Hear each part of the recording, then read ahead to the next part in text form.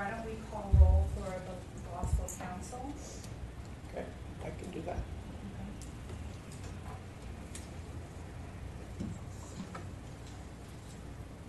Sherminsky? Johnson? Yeah. Kloppenberg? Prager? Here. Strauss? Participating by phone. Goodman? Here. Aramatsu? Here. Lynn? Here. Mendoza? Here. All right, and we'll just call roll, then also, since it's a combined, uh, meeting, we'll call roll for the Rules Advisory Committee. Okay. Barbara Herring? Here. Brandis? Here. Gardenia? Here. Goodman? Here. Aramatsu? Here. Lynn? Here. Okay, great. Angela Yes, has joined the conference. who, who's, who is that, who just joined? Who just joined by phone? Okay. Double secret. Yes, yes, somebody's secret. Um, First, if there's any public comment, we would welcome that. Anybody from public want to make a comment? Um, Just procedurally, we are proceeding, uh, at the time, we've convened both the RAC and the Law School Council. And so we are uh, proceeding jointly for the moment, so that would include comments on either part, any part of the agenda addressed to either of those bodies. Uh, And let me just remind everybody a little bit about the law, about the public comment process. If you wish to make a public comment, for those of you present in the room, please step forward and take a seat at the seat indicated at the end of the, uh, of the circle here with the microphone. If you're making a public comment, or indeed to those on either body, if you are making comment, please remember to turn your microphone on before your comment and turn it off when you're done. For those of you doing the public comment, you can probably not worry about turning the microphone off so much uh, when you're finished. Uh, We will uh, take some public comment, uh, general opportunity for public comment at this time. We may also take some in connection with any given item on the agenda at the chair's prerogative. Uh, And uh, I gather that the chairs are um, Greg Brandis for the RAC and Erica Gamatsu for the Law School Council to control the, the public comment in both instances. So uh, I was asked to make some reminders, that's what I was uh, uh, going to do. So at this time, uh, we'll accept general public comment on any matter that's on the agenda, or any matter you wish to address to the, to the groups.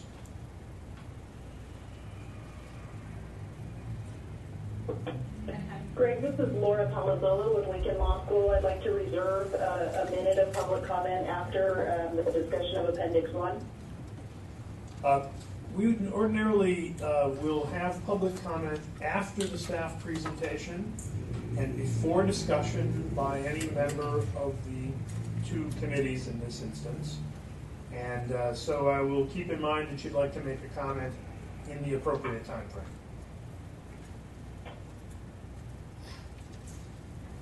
Okay, Anyone else on the phone uh, who wishes to reserve an opportunity for public comment at that time?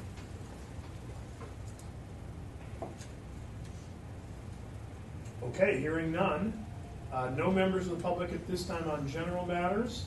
Uh, So we will move to, we, so we juggled our agenda, didn't we? So we are now going to do our appendix I conversation first. Uh, So let's have our staff report on appendix I. All right, good afternoon. I'm Amy Nunez, Interim Director of the Office of Admissions, and I'm going to start the uh, discussion on Appendix I. So for both RAC and the Law School Council, for members of um, these associations, this will be the first time that you hear about Appendix I at this session. And so for that reason, we're going to go over um, all um, of the recommendation, staff recommendations related to Appendix I affecting the CBE, Law School Council, and RAC. So just um, as a reminder, what we, uh, how we organized the Appendix I recommendations were they were formulated around the various licensing functions carried out by our office. And so they include all of these, um, from exam analysis, um, down to, um, personnel.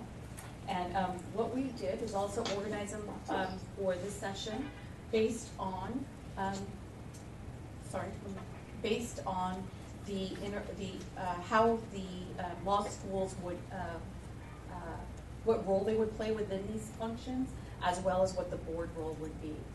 Um, we're also gonna talk later about the various options and get very specific about the uh, accrediting, um, options that are on the, uh, are on the table at the moment. One of the functions that's not included in here, so, um, is, uh, a new one that is, um, not currently being carried out or carried out in a very limited fashion, and that is looking at trends in functioning, um, in, in licensing and certification, sorry. And this involves continual, con- continuously looking for, um, uh, innovations in licensure. And the idea here is that the CBE would carry that out and reporting, reporting it back to the board. So with that, let me start with um, each of the um, functioning areas. So as you will see here, this table reflects the exam development function. And within that function, we have um, six separate um, tasks that are related to that function. So they include the development of questions, the review of questions, the review and evaluation of the grading process, a sampling plan, and that is a sampling plan that determines the exam content areas for each of the bar exams, challenges to the exam questions that sometimes comes up from applicants, and also setting exam fees. With, within each of these, the proposed entity um, for, for example, development of questions is the EDGE team. And that is um, the method that we're um, using, employing right now for the development of uh, exam questions. And so that would be a status quo in our current structure. And in terms of um, the law school, and I won't do this for every single item, but the idea would be that the law schools would participate at, at the request of, um, for, uh, at the request uh, and in the exam fees um, area only. So let me talk about the rest of the items. They are the review questions, um, and that's carried out by the, by the CBE, and we pr- are proposing to uh, keep that the same way we're doing it now. Review and evaluation of the grading process, the CBE carries that out. Um, and we have had reviews, but um, this is um, a proposal to, to evaluate our process on a yearly basis, perhaps. The sampling plan, um, this stems from a recommendation made by um, the psychometricians during the bar exam studies to evaluate and, uh, and create a methodology for how we select content areas for the bar exam.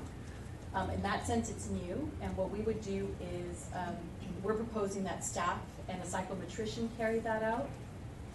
We also have challenges to questions, um, that, uh, when that happens, it comes to the CBE, and we are proposing to keep that as in the same process.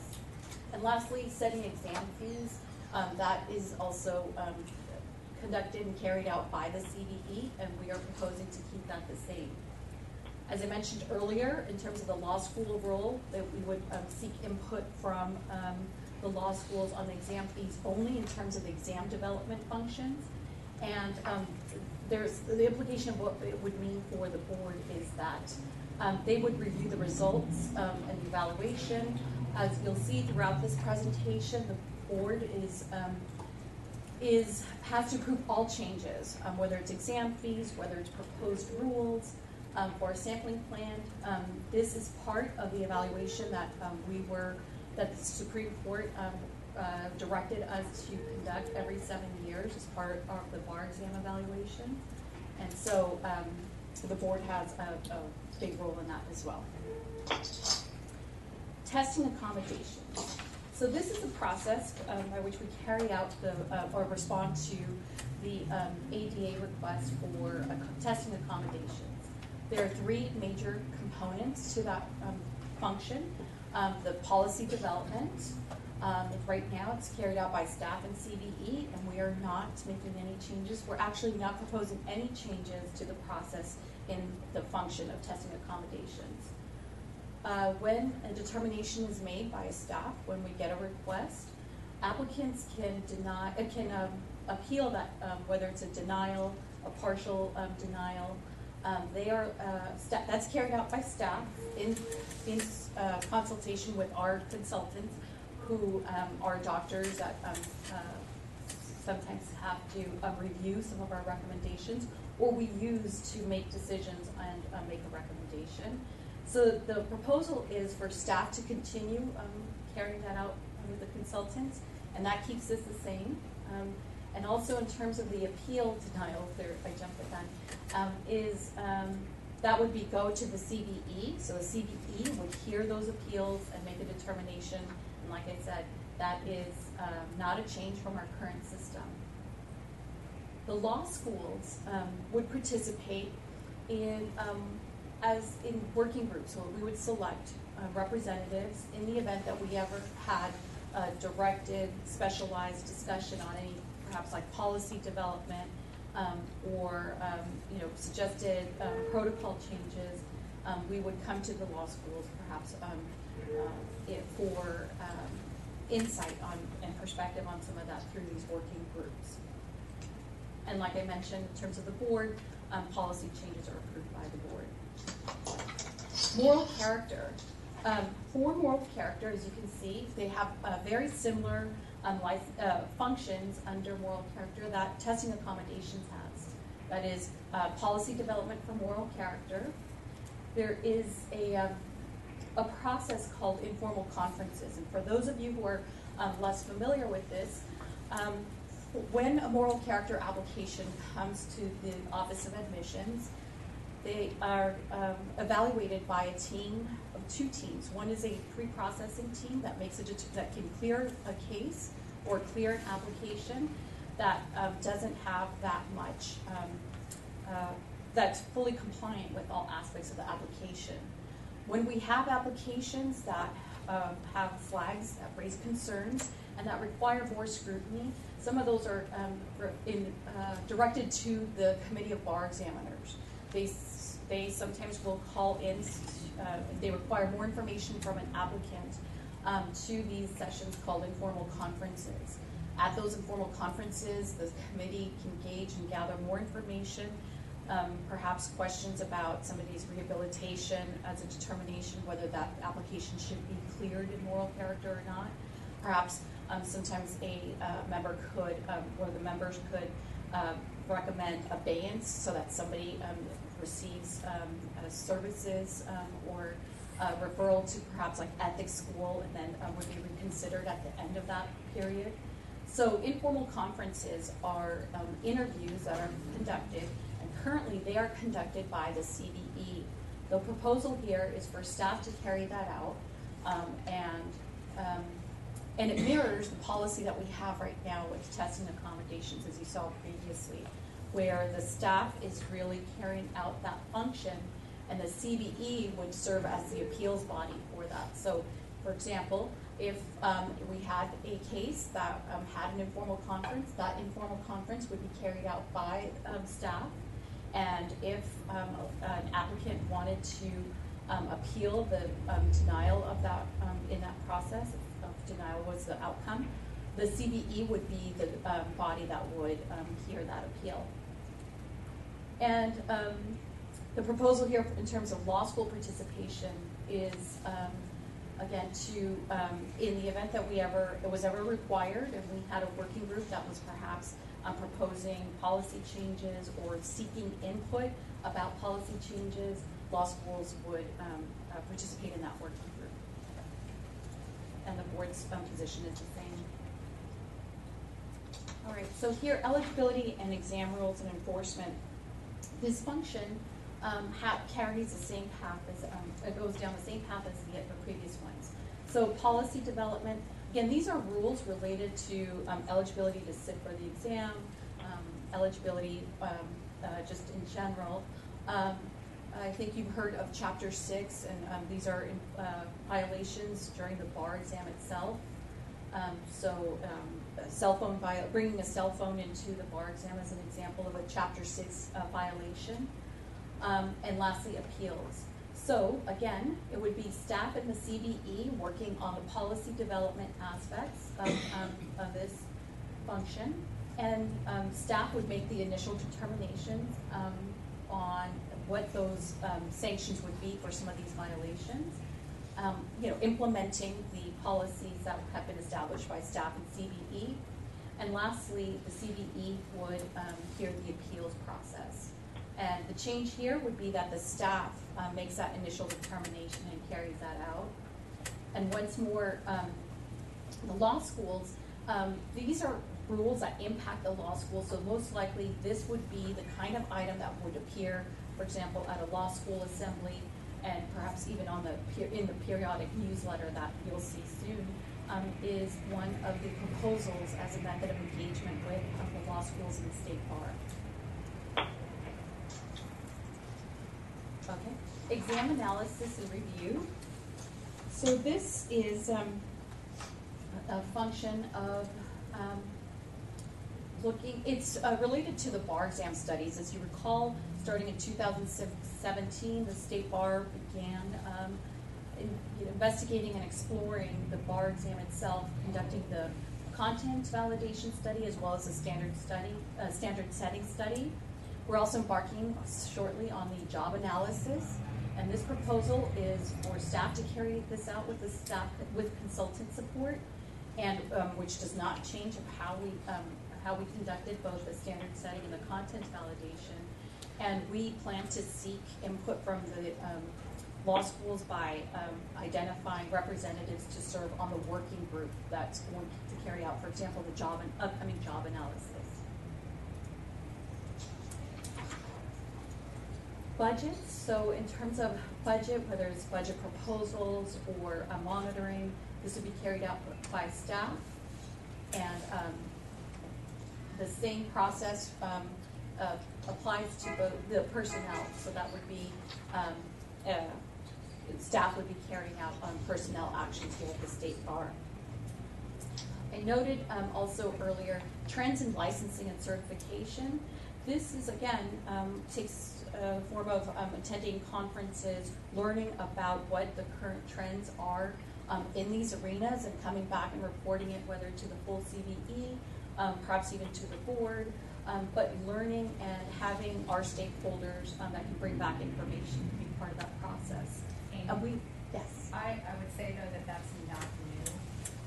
I think that we have to have a different one as far as a suggestion. Okay. Uh, it's not, because we've always sent people to the national, um, conference of bar examiners. And Okay. that's essentially where we learn about what everybody's doing in other states and, um, and then we share that when we get back.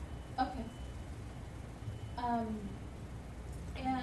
also, um, so the way that, um, the law school would be impacted is, um, we would update them, update them, regular communication. And, um, again, this, uh, through the law school assembly, the yearly, um, uh, gathering, um, some of this information could be disseminated or we could engage in dialogue related to that maintaining relationships. So I'm going to move to, um, here we talked about, um, the, um, methods for engaging the schools. And, um, this is just an overall summary of the different, um, proposed methods. So the first, um, is, um, a biannual, um, newsletter, communication from the state bar to the schools. The other is an annual law school assembly, which is a two-way communication, and law school participation in working groups. I'm gonna get a little more specific here. Oops. Okay.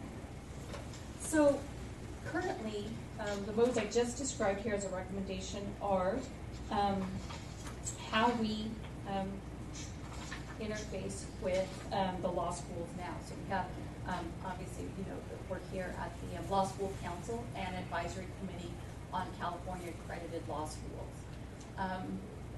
Within each of these, in the Law School Assembly is a meeting that we invite all Cal- California law school deans or the representatives to come and, um, uh, disseminate information about the schools.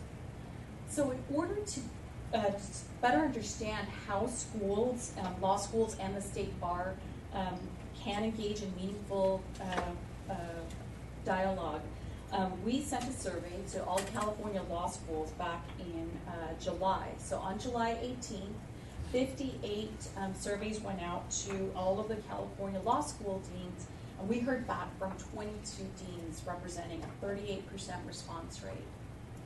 When we sent the survey, um, we received bounce back emails where we had the wrong email. We corrected those. We sent um, two more rounds of uh, reminders for anybody who had not responded. And um, we also made calls to the California, uh, Cal accredited law school deans to try to um, understand and um, uh, understand why um, people weren't participating or to address any fears about participation. Um, and nonetheless, we ended up with a 38% response rate. Now, um, as you can see here, one of the questions that appeared on the survey um, asked about um, both, all three, law school assembly, law school council, and RAC, and um, whether people found that, how valuable people found that. If you look at the categories of usually valuable and consistently valuable, for the most part, uh, roughly 40, around, uh, hovering over 30%, uh, yeah, sorry, 40%, um, most deans found um, these outlets um, valuable. So, for example, law school assembly, 43% of deans across all school types found um, that um, law school assembly was either usually or consistently valuable. 37% um, rated the law school council as usually or consistently valuable. And 43% of um, deans um, across um, school types believe that um, BRAC was usually or consistently valuable. So what we wanted to do is, um, as at the state bars also gauge um, law school dean attendance and agendas. Uh, so we looked at agendas and minutes to um, to gauge that, because what we're trying to do is identify how um, we can achieve meaningful engagement. And part of that is knowing who's coming to the meetings and um, and to determine the level of engagement as well. So we looked at um, the agendas from 2016 to present, and what we discovered, sorry, was that um, in 2016, 17, and 18, 2017 represented the highest attendance of in all of these three forums. And what we discovered is that um, for law school council, um, 26% of ABA deans came to at least one meeting in 2017. For Cal deans, at least um, 53% came to at least one meeting that year, and 20% of um, unaccredited or registered law schools had at least one dean attend. I mean, attended at least one um, law school council meeting. As for BRAC, um, yeah, no ABA deans attended, and that makes perfect sense. But um, 75% of um, Cal deans attended at least one meeting, and 10% of registered um, law school deans attended at least one BRAC meeting. Um, the other item that we looked at to gauge meaningful participation is the agenda items that appeared um, on BRAC, on the Law School Council, and on the um, uh, CBE to look at um, how often there was uh, multiple instances of the same agenda item. And that did happen often. And, um, and given that the same I, I, attendees came to the law school council, that came to the um, BRAC meeting, that came to the CBE meeting, rather than having meaningful engagement, at times it created a redundancy in that discussion rather than, um, you know, uh, an, an enhanced conversation. Also, um, one thing that's not noted here is that maintaining volunteer interest for um, these committees has been a challenge. Um, you know, law school councils had a challenging time electing representatives that remain engaged on the committee. We've had deans selected on the committee that have never made it to a, a meeting. So, the other item we asked about was how useful somebody would find um, the, the use of a, an e-newsletter from the state bar. Uh, and we asked it on a scaled question where one is not useful and five is very useful. And as you can see here, there are two metrics that we're looking at.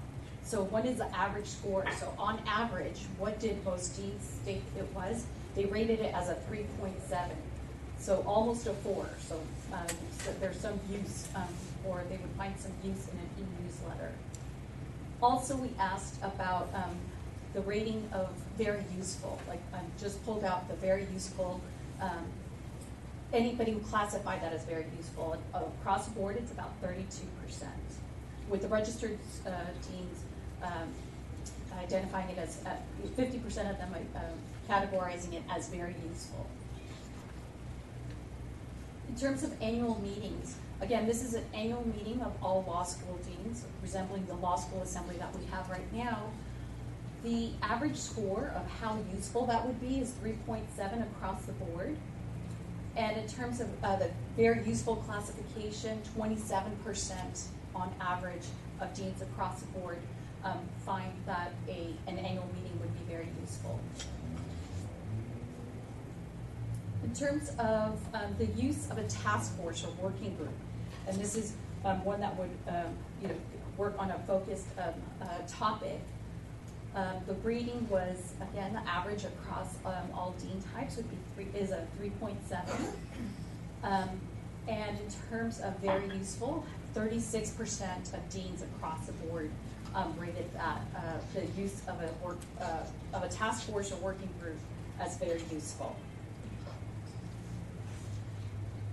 So, in terms of um, identifying other suggestions, perhaps there's something that we did not include in the survey, or perhaps um, uh, you know there, we needed another mode of identifying something that would be um, help, another suggestion on meaningful engagement. We weren't able to identify, but I do want to um, note that a lot of the deans that I spoke with wanted to point out the fact that the Law School Assembly um, grants opportunities for deans to meet one another and provide a forum, a forum that doesn't exist in other arenas. So I just want to highlight that. So given what we want to achieve at the State Bar, and that is um, a forum to engage law schools and deans, um, it's critical that the modalities that we identify allow as much participation from all California legal education institutions whether Cal, unaccredited, or ABA, as possible. So the data that we presented supports some of these, um, uh, these recommendations. So first, the um, annual convening of all, of all law schools. So uh, I noted that we had a law school assembly, and the data that dispels that people are interested in uh, maintaining that. The other is the participation on working groups with the defined scope, duration, and charge. And um, and that is what we are proposing here. And lastly is the e-newsletter to be periodically disseminated. And it would include um, policy information or updates as we learn about them um, as a way of um, uh, engaging the law schools. And um, that's it. Okay. Now we are going to talk about accreditation.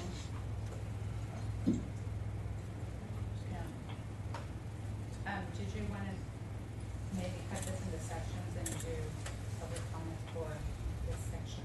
Seems like a good place to rest anyway. I certainly agree. Shall we? Uh, let me remind everybody, so we're we're gonna take a moment now to take public comment and presentation regarding law school interaction and engagement that we've just had from the staff. Uh, let me start with Dean Palazzolo. Is your comment concerning that area? It is. Okay, please proceed for about two minutes. Thank you very much, Greg. Um, I know a few schools have already commented on Appendix I in connection with the CBE Programs Committee. I concur with those comments, but I direct my comments today specifically to this RAC issue. RAC gives the law schools an opportunity to initiate as well as comment on new rules and guidelines. The State Bar proposes replacing the RAC with working groups, but there is no mechanism for the law schools to request a working group and no requirement for staff to convene such a group on law school request. So I'm concerned that the law schools are going to lose their voices entirely in terms of being able to consider and comment on proposed rules and guidelines other than as regular members of the public, which may be reduced to a minute or two at a public meeting. Secondly, I have a concern about diverting all decisions, both rules and implementation, strictly to staff. This is particularly so where there is no mechanism for disclosing potential conflicts of interest. Where there is essentially one staff member dealing with school applications for major changes and a tendency for the CBE to take staff recommendations, if a conflict arose with that single staff member, we don't really have a mechanism for a workaround. There is no RAC to review and revise a guideline that may be interpreted loosely or wrongly by staff. It is disconcerting that the state bar may be making decisions based upon input from ABABs who have no reason to interact with the RAC. Concerns about cost and composition may well need to be addressed, but that's a very different approach than a wholesale elimination of the CAL's sole opportunity to meaningfully engage in the regulatory process. Now, I heard just now a statistic that 75% of the CALs participate in the RAC. It's obviously important to us, and let's don't throw out the RAC because the Law School Council may be considered redundant. I'd request a revision rather than an elimination of the RAC. Thank you very much. Okay, thank you, Dean Palazzolo. Uh, While we're on the line, is there any other member of the public on the phone uh, who wants to make a public comment at this time on this issue? Okay, hearing none, let's turn to public comment in the room on this issue of uh, engagement with the law schools.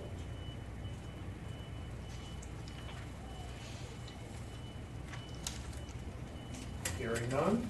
Uh, So hearing none, we'll close the public comment on this issue and proceed to discussion. And Erica, it looks like uh, uh, Dean Kloppenberg wants to make a comment, so let me turn it over to you to conduct the portion of that discussion that pertains to the law school council discussion at the moment. Thank you, Erica. Actually, could you spell your last name? Sure, K L O P P E N B E R G, Santa Clara University. So, um, I- as, I'm almost done my term on the Law School Council, this will be my last meeting. Uh, But I do think it's distressing that we didn't see Appendix I before on the phone where most of the deans are present, including several members of the Law School Council. It's being read to them, they don't have it in front of them. And as I understand it, you didn't say it, Amy, but my understanding is basically the proposal is to eliminate the law school council and RAC. Right, okay. So I think we can all agree that meaningful engagement is good, and I just question whether the elimination of that is the way to achieve it. We, with Mitch as chair, we had worked very hard over the last year, year and a half to make, to provide for more meaningful engagement with, by sending representatives, by working on specific topics. It just feels frustrating that we never had the chance to try that. You know, um, and, and this may be useful, it may be easier for people, um, but I don't think it's really gonna, um, foster the kind of relationships we want. You know, seeing each other regularly, being in the same room is an important part of, of really, um, having dialogue information is different than dialogue, and this feels like a lot. Even the way today is being handled, it feels like information being given to us on a one-way street. Thank you. Karen? Yeah, so I concur with the comments of Dean Kloppenberg as well as Dean Palazzolo about the decision or recommendation to disband both the Law School Council and RAC. I've had the pleasure for these past four years, and certainly the last three years, to work on both of those committees. And I have found that the, the more you engage directly on policy issues and language issues, the more you get to understand exactly what is going on. It is, and I think it has, over the course of my tenure here, I think the communications have improved for the people that attend. And I think the, I, I've certainly personally learned a lot more about the law schools because of my role in actively being here at every meeting present. And I, I, with, with all due respect to the recommendations and the people that recommended it, the idea that we're going to just replace that with working groups and newsletters um, is certainly, they are not the replacement. The communications will be worse. Transparency will disappear. And, um, and this is going to be consistent with my, you know, my concerns when I, uh, about the rest of the stuff. But I think that this is something I think that if, and we take at face value, that the state bar values improved communication, I think that's what they need to focus on. And getting rid of the best means to do that does not accomplish the intended purpose. Uh, I, oh, anybody? Uh, I concur with each of the, of- I concur with each of the uh, three prior comments, and, Can you speak more into your? yes, and, oh, there it is.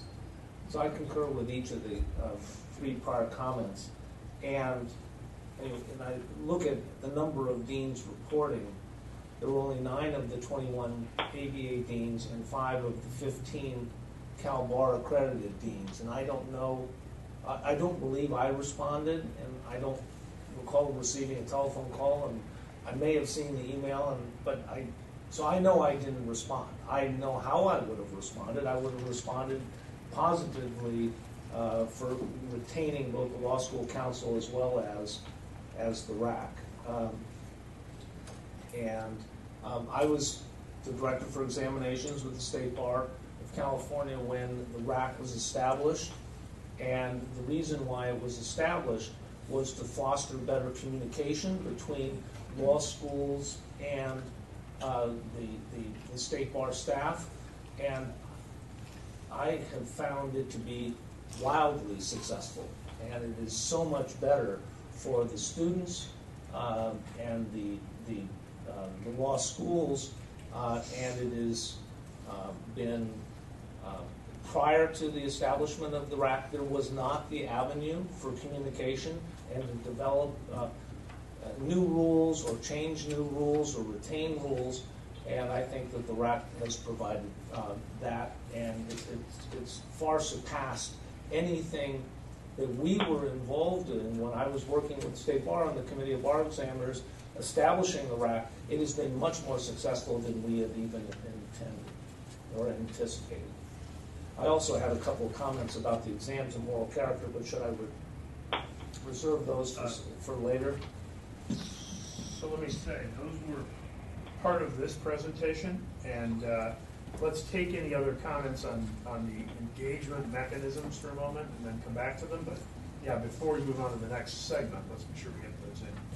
And and Erica, I think. Yeah, I just had something, I I had a question, and that was, uh, in the survey, was there any area that the deans had the opportunity to explain why they felt a group was unsuccessful or less successful? Yes. And uh, what was the consensus as to why the group, what each group was not um, useful, I'm sorry, useful? I, I don't have that data in front of me, but, um, uh, let me just also, um, reframe your question. It sounds like you were asking if there was room to, um, add, um, language, um, that, um, supported their, the rating, whether it was about law school engagement. And, and that did happen, there was room in, in some of these questions, but I, I did not summarize that, but I, I know that it was, so you got to rate it, and if you had, an you know, wanted to add additional items, there was an open-ended item. That did not get filled out that often, but, um, if you wanted that data, I could supply it to you. I just, I think it would be helpful to know why they felt it was not helpful or useful. Um, it could be, it's just a bad time to offer it, or, you know, there could be different reasons why. So, so that would be helpful. Well, um, there were general comments, I do have to, I do recall these, um, about, um, the ability for schools to be able to, um, commit to the time that it takes to, for travel, um, and to participate. Um, that was one of the comments that surfaced, as well as the, um, sorry, there was one, right, that's what, um, the that. And the concern I have with that is that's just a physical transportation issue, it's not a content issue. It's not saying, yes, I attended these meetings and they were dumb, you know, or, or we didn't accomplish anything, and it was, and in that sense, it was not useful. So, uh, I think unless you have comments that are, that are speaking to the content of those groups, uh, it's, it's not really a fair way to measure if somebody thinks it's helpful or not. Um, and I would also ask for the law school newsletter, um, would there be an opportunity for the deans to contribute articles Um, uh, uh, we haven't gotten that specific, but uh, I think we'd be open to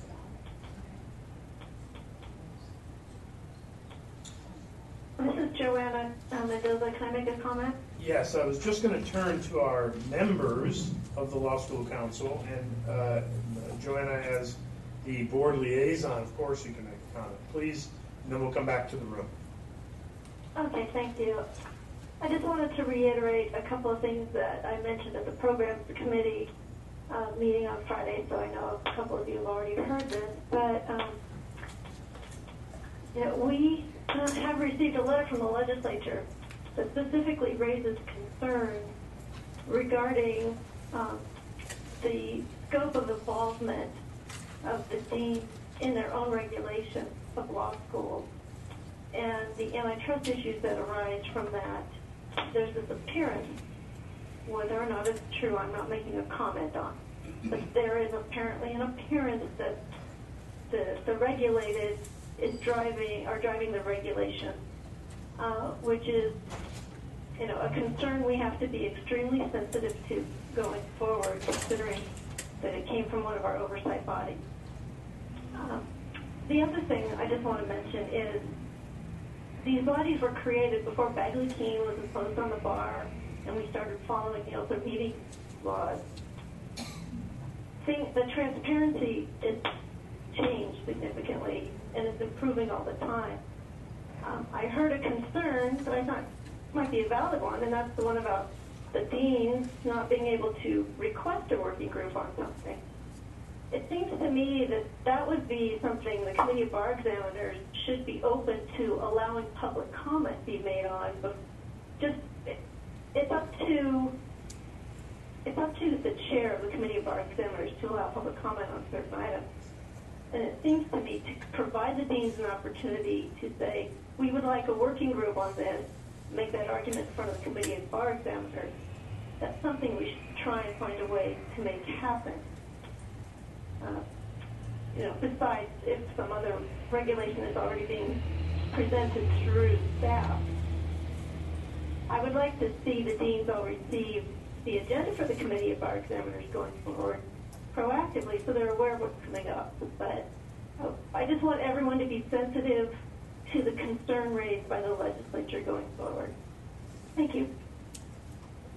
Thanks, Joanna. And uh, are there other members of the Law School Council on the line? Uh, well, actually, let me look. Is there anybody else who can? Um, uh, Dean Strauss? Looks like Deans Johnson and Strauss are the And other Rager. two. Right. Yeah, who are. Uh, uh, so, uh, any any of the other members wish to make a comment? Not on these issues. For me. Okay, so back to the room then. I think uh, uh, member. Let's we'll, we'll take Jackie and then we'll take uh. So I, first, just to have it on the record, I concur with the comments of, of everyone who has spoken about what I think of as a very valuable resource, both the Law School Council and the Rules Advisory Committee. And my concern about the replacement of them with working groups, I think one of the things that's really helpful about both of these is that they're standing committees. Um, and although Bagley Keene does put some additional procedural um, burdens on them, I'm not sure that's a basis for uh, disbanding them. Uh, and the, as I understand it, the statute was passed in order to increase transparency and openness. Uh, that's a good thing and, and hopefully something we're trying to facilitate here. So I hope we're not going to be using that particular statute as, a, as one of the reasons to eliminate it. Um, I, I think being able to propose a working group to the CBE and perhaps have the CBE vote on it and give an okay is, is an option, although I don't think it is as a positive as having a formal standing committee that the deans know exists um, and that meetings will occur. And uh, in, for that reason, I'm I in favor of, of keeping um, both both of the uh, Law School Council and the Rules Advisory Committee. Thank you. Donna? Thank you, Mr. Chair. Um, I, I want to agree in part with, with things that everybody was saying um, earlier, um, because the goal of what we're proposing here is increased engagement, increased meaningful engagement, increased transparency, um, having sort of better opportunities to have discussions with the, the law school deans i- i- i- as appropriate. A- a- And so to the extent that, that sort of this proposal is seeming to go in the opposite direction, then, you know, I would certainly agree with, with you because that, what we're trying to do is actually increase engagement.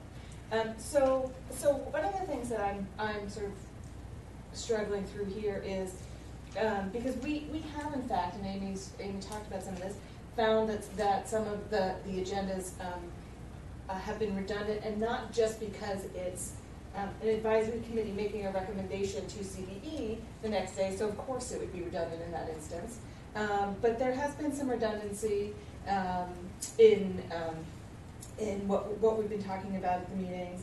And, and that doesn't seem, just sort of rehashing the same, having the same conversation with law school council, followed by RAC, followed by CBE, that's not meaningful engagement. And so, so I'm struggling with, you know, what, it- you know, are there options other than what the state bar rec- staff recommendations were and keeping things as they are now, right? Maybe part of it is structure. Um, I, I know I sort of have a sort of a personal um, uh, resistance to the back-to-back meetings, um, and and that tends to feel more um, uh, more redundant. Um, and so maybe part of it is a structural issue. Uh, you know, are there ways to do it differently? Are there ways to have a group, have one committee as opposed to two committees that um, will have the right information that will draw the ABA deans to participate, but also, you know, provide the appropriate forum for, um, for the, the Cal accredited or the, the um, unaccredited schools. Um, so, you know, what are the other opportunities? And it was one of the questions that we'd asked in the survey was whether that, that whether there were suggestions for sort of more um, other suggestions for meaningful engagement. We really didn't get much of a response on that, and I would really love to hear sort of some thoughts, whether in the room or um, you know a follow-up email uh, to me, just sort of letting me know what those thoughts are, because I'd really like to have an option sort of other than status quo and what's the staff recommendation is. Erica? Uh, I just wanted to comment on, as far as redundancy goes, within one group, if they repeat their agenda and have continuing conversation, it's usually because it's such an important topic and there's been so much dialogue that it won't fit all in one meeting. So I wouldn't gauge redundancy in an agenda as this is rehashing stuff and it's, um, it's not helpful. Uh, in the same way, when you look at the different groups, whether it's RAC, um, CBE, Law School Council, if they're all discussing the same issue in their groups, they're doing so because that's their allotted time. You're, you would be eliminating their allotted time because in the CBE meeting, um, it looks like they're all gonna be one-day meetings now. There's not time for all the stakeholders to jump in and offer their comments without the meeting going much longer or it having to be tabled and moved to the next meeting. So it's actually a lot more efficient when you have a separate group of just deans, for example, uh, to discuss an important issue, come up with, this is what we think is best, and then they can suggest that to CBE. That seems to me to be just more efficient.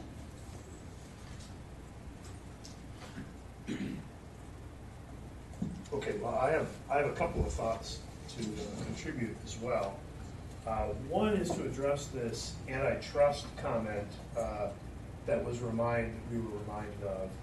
And, uh, you know, I, I just want to make sure that everybody, and uh, that, that includes the folks who might be watching this in video, and I hope it gets right in front of every single board member, that the uh, State Bar of California has already ruled on this uh, in a January opinion by the Office of General Counsel. Uh, That opinion was repeated when the matter was raised again by another individual later uh, with another opinion uh, providing, provided on this antitrust question. That matter was then filed with the Supreme Court in a petition on exact, including this issue, including many other issues and this issue, and summarily denied by the United, by the California Supreme Court. So this question of antitrust has been thoroughly examined and completely rejected in every forum where it's been addressed. And uh, I, I'm not sure how it came to be that a member of the legislature became interested in this matter. Uh, Certainly, I appreciate the difficult position that puts the bar into and the board into. Uh, And certainly have my commitment to do anything I can to help with it, but uh, it's pretty easy to find that this has been more than thoroughly uh, addressed and concluded. And so I don't think that uh, that should any longer be any part of, of the decision about whether to retain uh, the, this, this very, in my opinion, very important mechanism for appropriately vetting through those who are regulated, the rules that will apply uh, to the schools going forward. Um, So I'd like to set that one aside, and I, uh, Joanna, I appreciate the importance of the sensitivity of the context. And so I don't mean to diminish that in the least, but I want to make sure that it's clear and on the record that that's been thoroughly decided from a legal standpoint. There's not, there's not an actual concern there any longer from a legal standpoint. Uh, So far as all the competent authorities, including the Supreme Court of California, are concerned, um, that there is no such thing. So uh, then I would like to ask a couple of questions. Actually, Amy, I don't know if it's possible to put the law school survey data back up Sure. for us, if, if you could. And I'm particularly interested in the, the, I really need to ask the, the staff a question about the reason for recommending abolishing uh, the highest scoring item in the whole list, which is the Rules Advisory Committee. That slide shows uh, that 43% of the total and 60% of the CALs and 63% of the registered schools all considered that to be usually or consistently valuable. Um, and I don't think there's any number higher than that anywhere in this. And most of the alternative mechanisms that are being proposed, uh, if I, my notes are correct, they're right in the 20s and low 30s. 27% on the annual meetings, 32% on the newsletter. Uh, so the feedback that was actually received in the survey does not coincide with the recommendation. If you're making a data-driven decision, it would seem that the, the survey would prove that you should retain the Rules Advisory Committee. Well, um, so the, the proposal wasn't, didn't stem entirely from just this data. Um, we wanted to also get a sense of attendance, which is why we also resorted to looking at, um, agendas. Despite the fact that we asked about attendance, um, in the survey, we thought the survey would still, would lose accuracy in terms of attendance, we resorted to both the minutes and the agendas to make that determination. So the, um, both the proposal, um, to eliminate is, really comes from a combination of, um, sources. So the survey is just one of them. Okay, all right.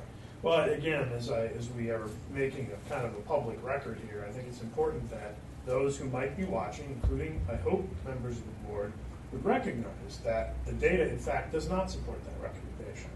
And I recognize that there may be other considerations driving the recommendation that was made, but uh, I don't see anything that scores as highly on this, on this survey. Um, There are other aspects of it, of course, that might be valuable or have some degree of value that were included and were considered, but uh, it just seemed a- an extreme oddity to me uh, that it uh, turned out the way it did, uh, although it- of course it makes sense, um, as you say. Now, uh, let me also um, ask about uh, the law school role in exam development, um, and that was an earlier slide. Um, The law school on exam development, if I remember, was uh, to, let's see, only on fees for the exam. Has left the conference. That, is that right? Only on fees for the exam? Yes. And, um, so here's the question. Uh, so if the, uh, state bar decided, and I guess it, in this case, it would be the staff, or who would make the decision to, for example, change the scope of the bar exam to include other subjects or take subjects off or include a new type of testing? Who, who would, under the structure, would actually make that decision?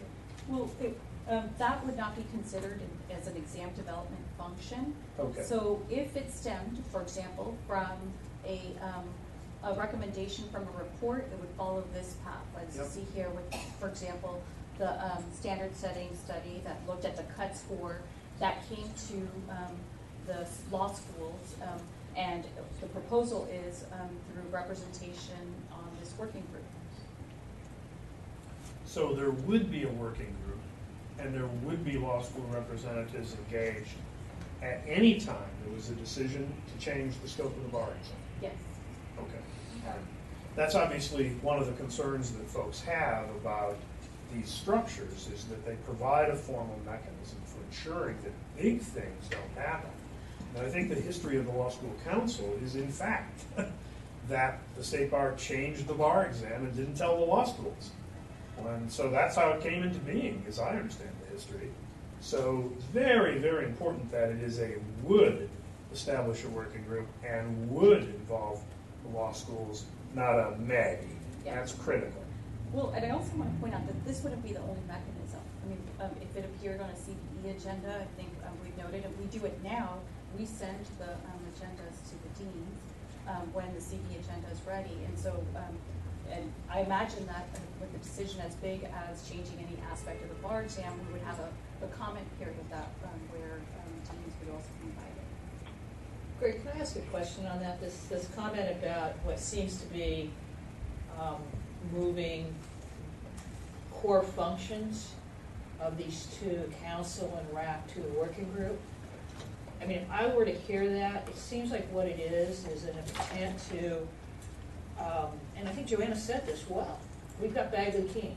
And I just don't think that's a good idea.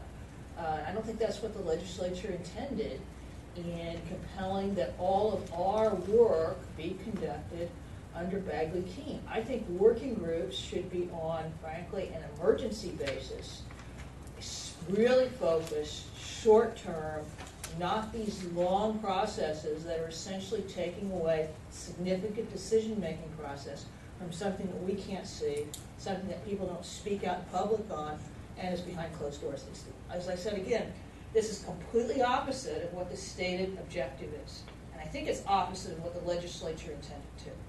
So, Yeah, I'll, just add, as a member of uh, the now apparently hated Task Force on Admissions Regulation Reform, uh, that that process was conducted entirely in the public eye. Uh, every one of those meetings was a public hearing.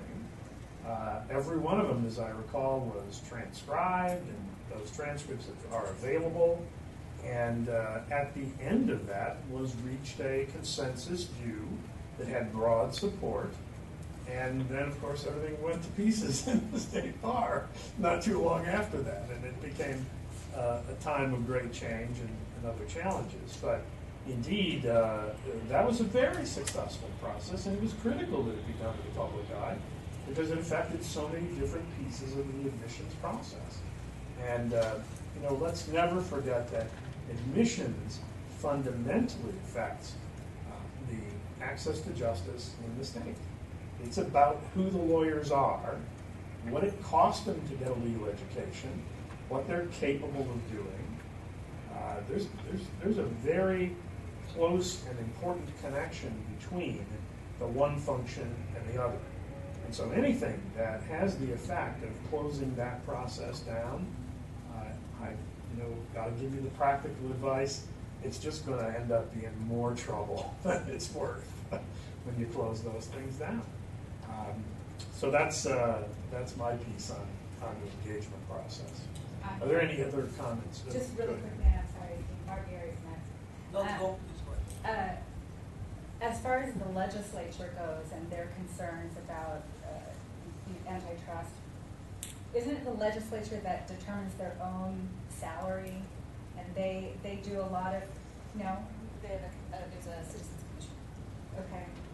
Um, They don't vote, they don't have any say in, in any of that? uh, Because it seems like they have rules that they govern by as well, that they're not asking a, a you know, state worker or a, a federal worker to be determining these things. So, uh, it's different when there's a public group that's meeting for a certain pro, uh, purpose, but, um, I, I would just make that observation.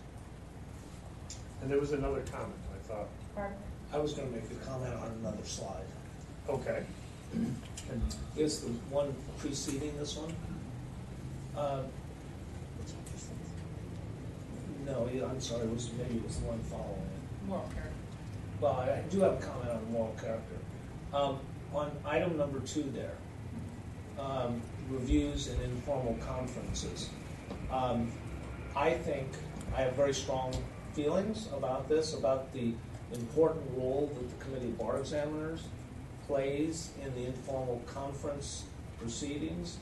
Um, uh, I served for ten years as a director for examinations with State Bar, but within those two years, um, uh, within those ten years, I served almost three years as the interim director of moral character determinations. And during that process, uh, I oversaw the informal conference process. And I was a staff person, and we would convene members of the Committee of Bar Examiners to conduct the informal conferences. And I often went in with an opinion about this individual, about whether or not I felt this person had the requisite moral character to be a lawyer. Well, I often, the committee often, or the recommendation from the subgroup to the committee was often different from that. And I acknowledge that I, the staff person, was wrong. The committee, uh, or the recommendations coming out of the informal conference were from a wide variety and very diverse group of views, professionally socially, and that was very helpful. Um, and to have a staff person making recommendations following the informal conference to the committee is too narrow.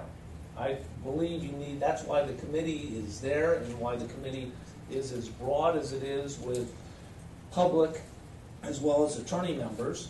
Uh, we have medical doctors, engineers, accountants, as well as lawyers, teachers, and all of those different points of views were very, very helpful in making a recommendation to the Committee of Bar Examiners about a particular individual's competence in the moral character capacity to be a lawyer. And I think having that, which is proposed, to take that informal conference process away from the committee and direct it to staff would be a terrible mistake.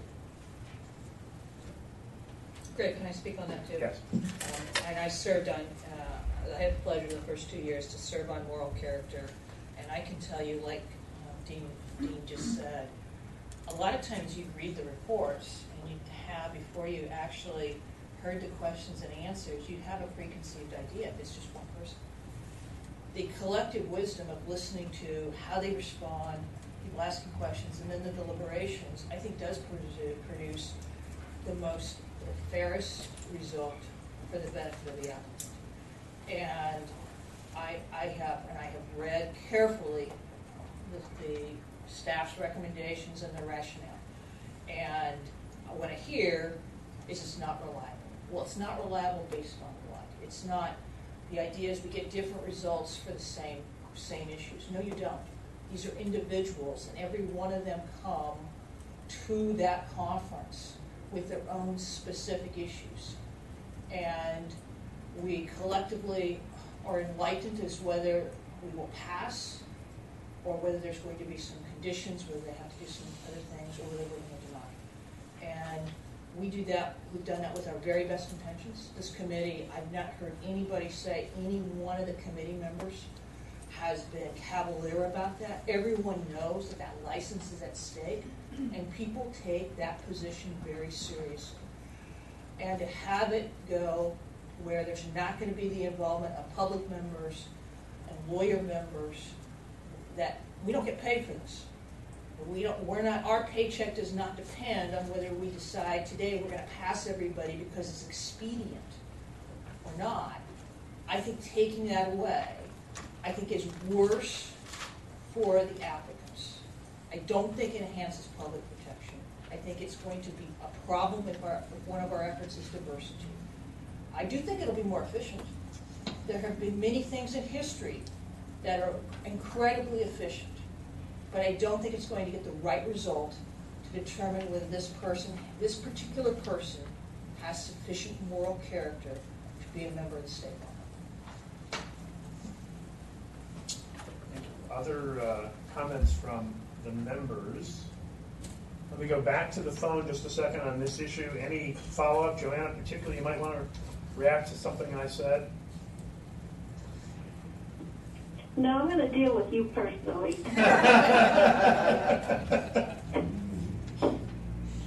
All right, anybody else? He said ominously.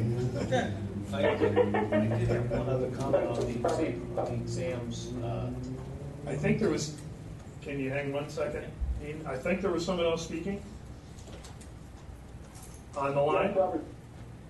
Yes, Robert, Strauss. I'll chime in after the other person speaks. Okay, all right. So I think he's moving to a different subject, though. Okay. Exam development? I want to speak on exam development. Oh, perfect. Go ahead. Yeah, so me or Robert? Uh, let's have Dean Barbieri first, and then Dean Strauss. Um, my comments, uh, it's really more of a question on item number four, which is sampling plan to determine exam content areas, staff and psychometrician, which is a new process in the, from the current structure, and I just don't know what that means. Oh, okay, I can clarify that. So, um, I mentioned that, um, this recommendation stems from a recommendation made by, um, this, uh, multiple psychometricians that we worked with, um, during the content validation, um, the content, um, study and the validation study, uh, standard setting, sorry about that. And, um, and what it is, is currently we track, um, the content areas that are covered from one bar exam to the next.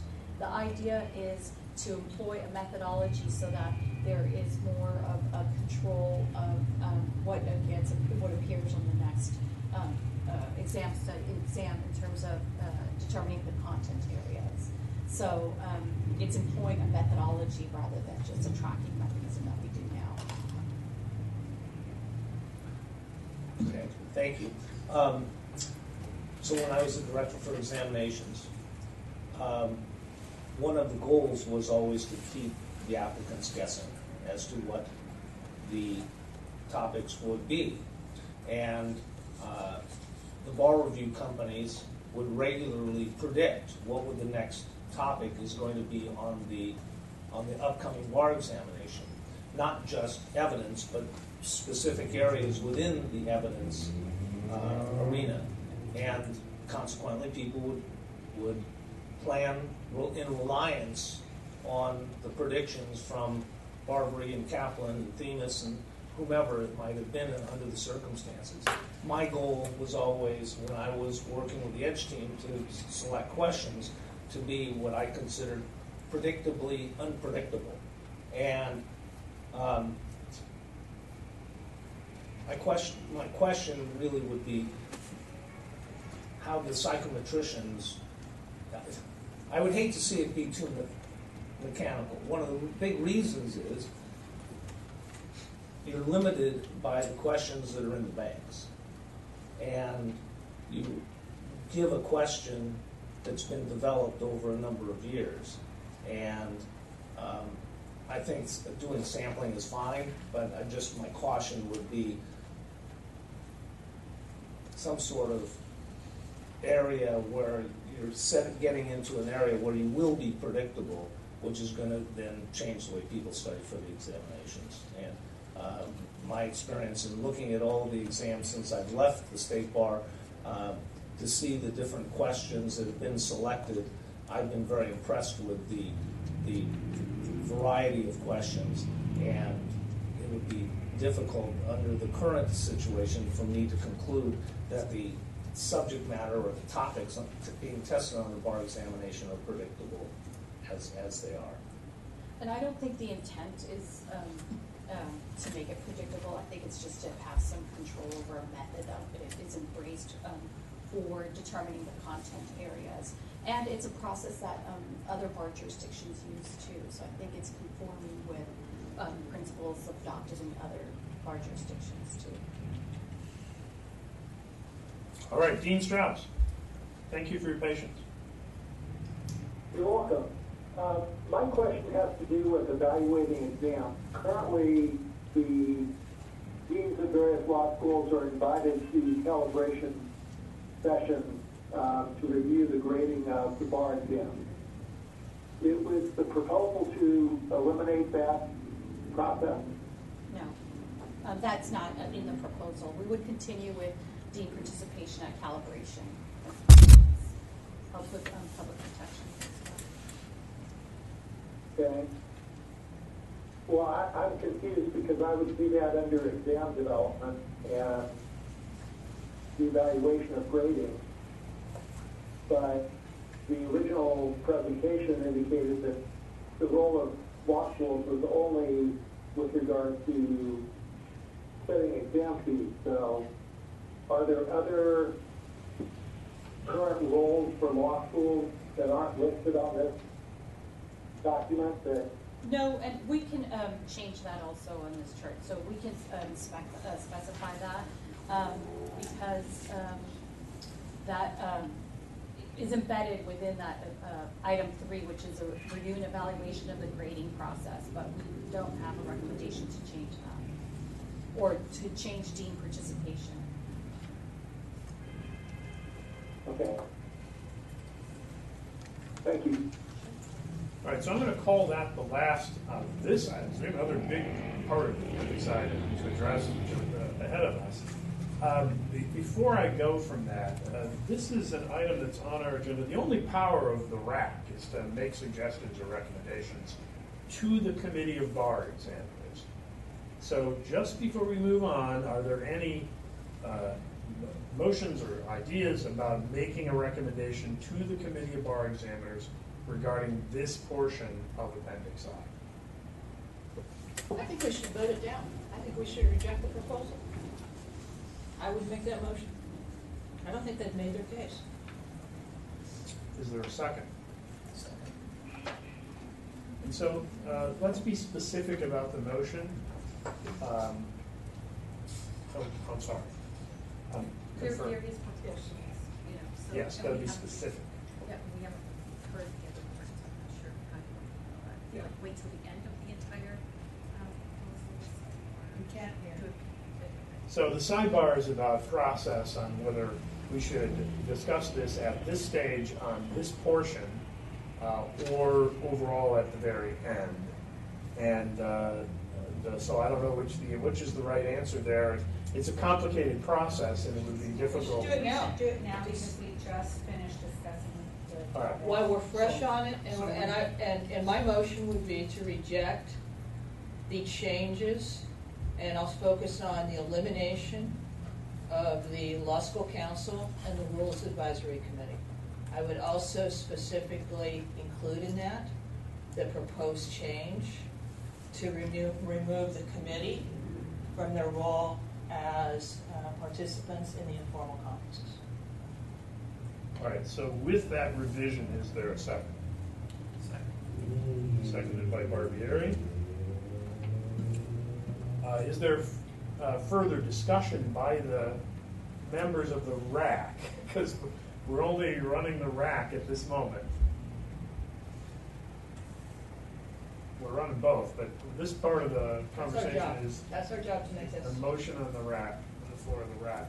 So Greg, just to clarify, um, if we're a member of the law school council, not RAC, are we allowed to vote on this? Not on this issue, not on this motion. This Even is a though it, motion. it takes elimination of law school council? And we it's will fine? hand that over to, uh, we just gotta follow the rules on meetings. I- I'm gonna hand that over to whoever, to Derek, who's I think chairing the law school council, for a parallel process in just a moment, all right? And so we're at the moment where this is just a motion in RAC, and Jackie has a comment. Just, I, I want to make sure I understand, Karen's motion was specific to the Rules Advisory Committee. and did not involve the law school council. No, it's a recommend, it's a recommendation, we're, as, as, as, as the RAC body, we are able to make a recommendation in response to this proposal. So it included, um, a rejection, a proposed, re- uh, the rejection of the proposal to eliminate both law school council and the rules advisory. And that's coming from our, our group as RAC. Thank you, thank you for that clarification. So motion, any further discussion? We don't have any members on the phone. Everybody in RAC is here in the, room, is present in the room. Uh, Further discussion? Okay, I'm gonna call the question. All those in favor, say aye. Oh, can you Nope. do this by roll? Oh, we gotta do roll call. We gotta do roll call. David, can you call the roll of RAC on this vote? Barbieri? Aye. Brandis? Aye. Gardenia? Aye. Goodman? Aye. Aramatsu? Aye. Lynn? Aye. So Okay, the record so- should reflect that that's unanimous. That, it's important to reflect that the, uh, the uh, motion passed, passed unanimously. Uh, Let's suspend the RAC for a moment so the law school council can do its business. And do, oh, sorry. Do we have further discussion from any of the law school council members? You probably need a motion in from, by someone in the Right. law school council first, right? Right. I expect. So I move um, to have a parallel motion to reject the proposals regarding RAC and L and law school council. I'll second that. That, I think, wasn't there also a motion in here uh, regarding moral character? Yes, so if we could have, um, just copy Karen's language, so it would also uh, leave it with the multi-person committee. The, the, the committee of bar examiners. Right. I'll second that motion. All right, any discussion by the members? Um, Yes. Is Karen Goodman part of the law school council? I am. Yes. Oh, you are? I'm sorry. I'm keeping, I'm paying attention, I'm looking at it right here. For one, for maybe one half hour more, I'm still a member of this, this committee, timely as it No, I- may be. You're, well, it's wonderful. I just wanted to make sure it went through I was, properly. I was, yeah, Don't worry, she's on your side. this time. This- Uh, so Uh, then, yes. This is Joanna. I just, um, I will be abstaining sim- simply because I'm on the line more to get, to hear everyone's thoughts on this. I don't think it's appropriate for me to be taking a position from something that is going to be coming to the board after we've gotten input from everybody. So I just wanted to explain my, Okay, thank you. So we have Mendoza abstaining. And can we, yes, can we uh, have a roll call on the vote? Yes. Uh, Johnson? He dropped He out. left. Kloppenberg? Aye. Strauss? Prager was on the line. Aye. I thought Prager was on the line. I can't Goodman? Aye. Aramatsu? remember. Aye. Lynn? Aye. And Mendoza is abstained. And Prager was also on the line. Technically, Oh, you, okay. Um, and since it wasn't noticed, um, she can't. I can't vote. Sorry about that. Just so it should reflect it. That would be for Erica to say, not me. What? Same test.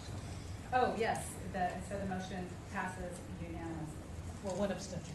with one abstention.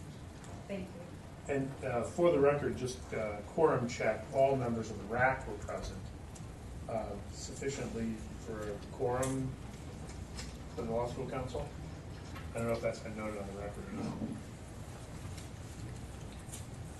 And, and Greg, does that have to be for the vote? Because, In order to vote, there has to be a Yes. quorum, yes. Form, easily. yes. Just making sure it's on the, on the record. All right, so now, uh, actually, this is still on, now we turn to the other parts of uh, the uh, Appendix I. Uh,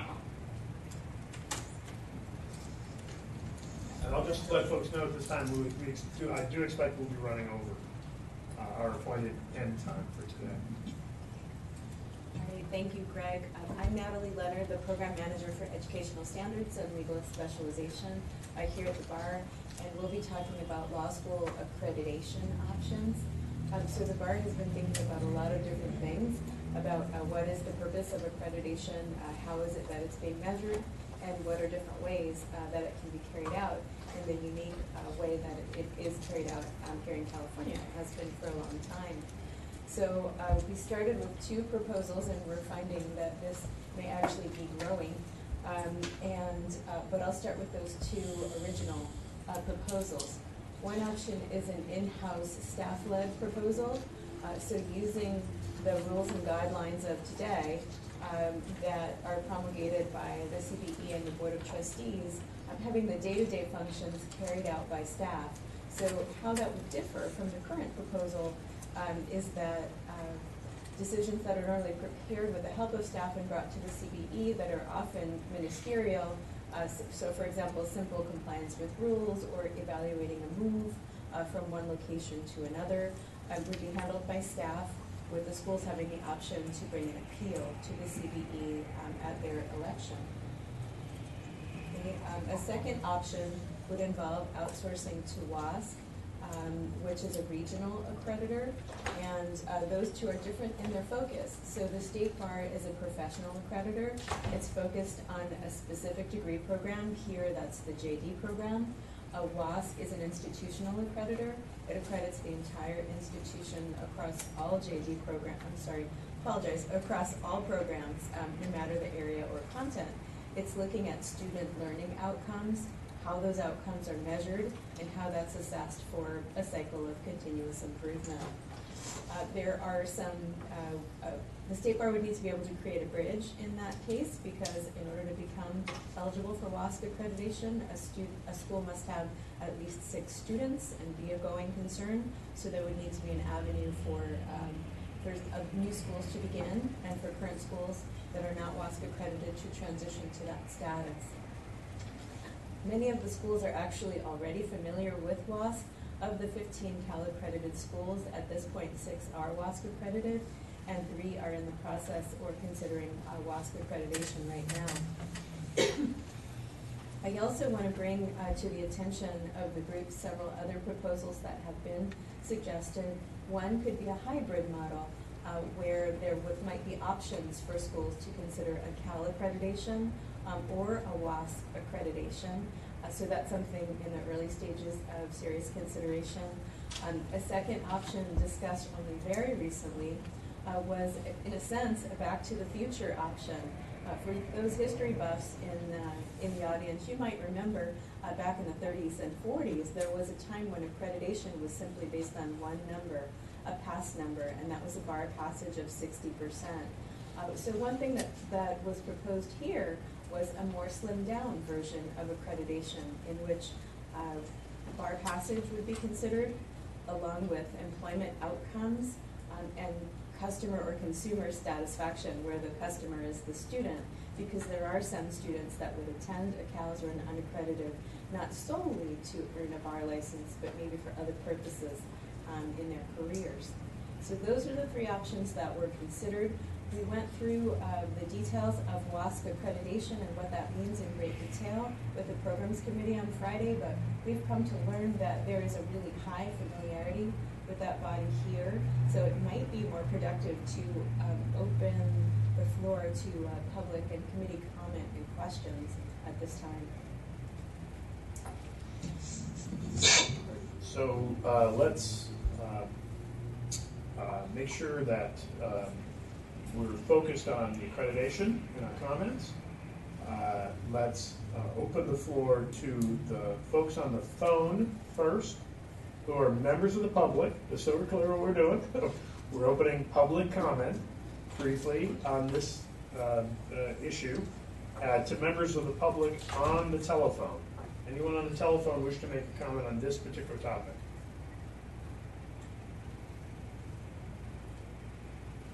All right, hearing none, are there members of the public in the room who wish to make a comment on this topic?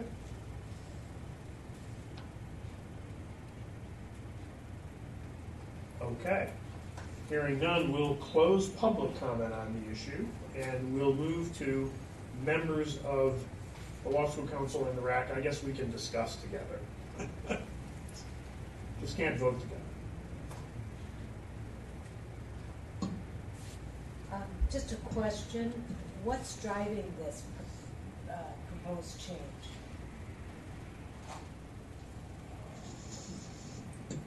Um, here, generally, we really have been just looking at all of the different business processes that are going on and thinking about different options that might be available.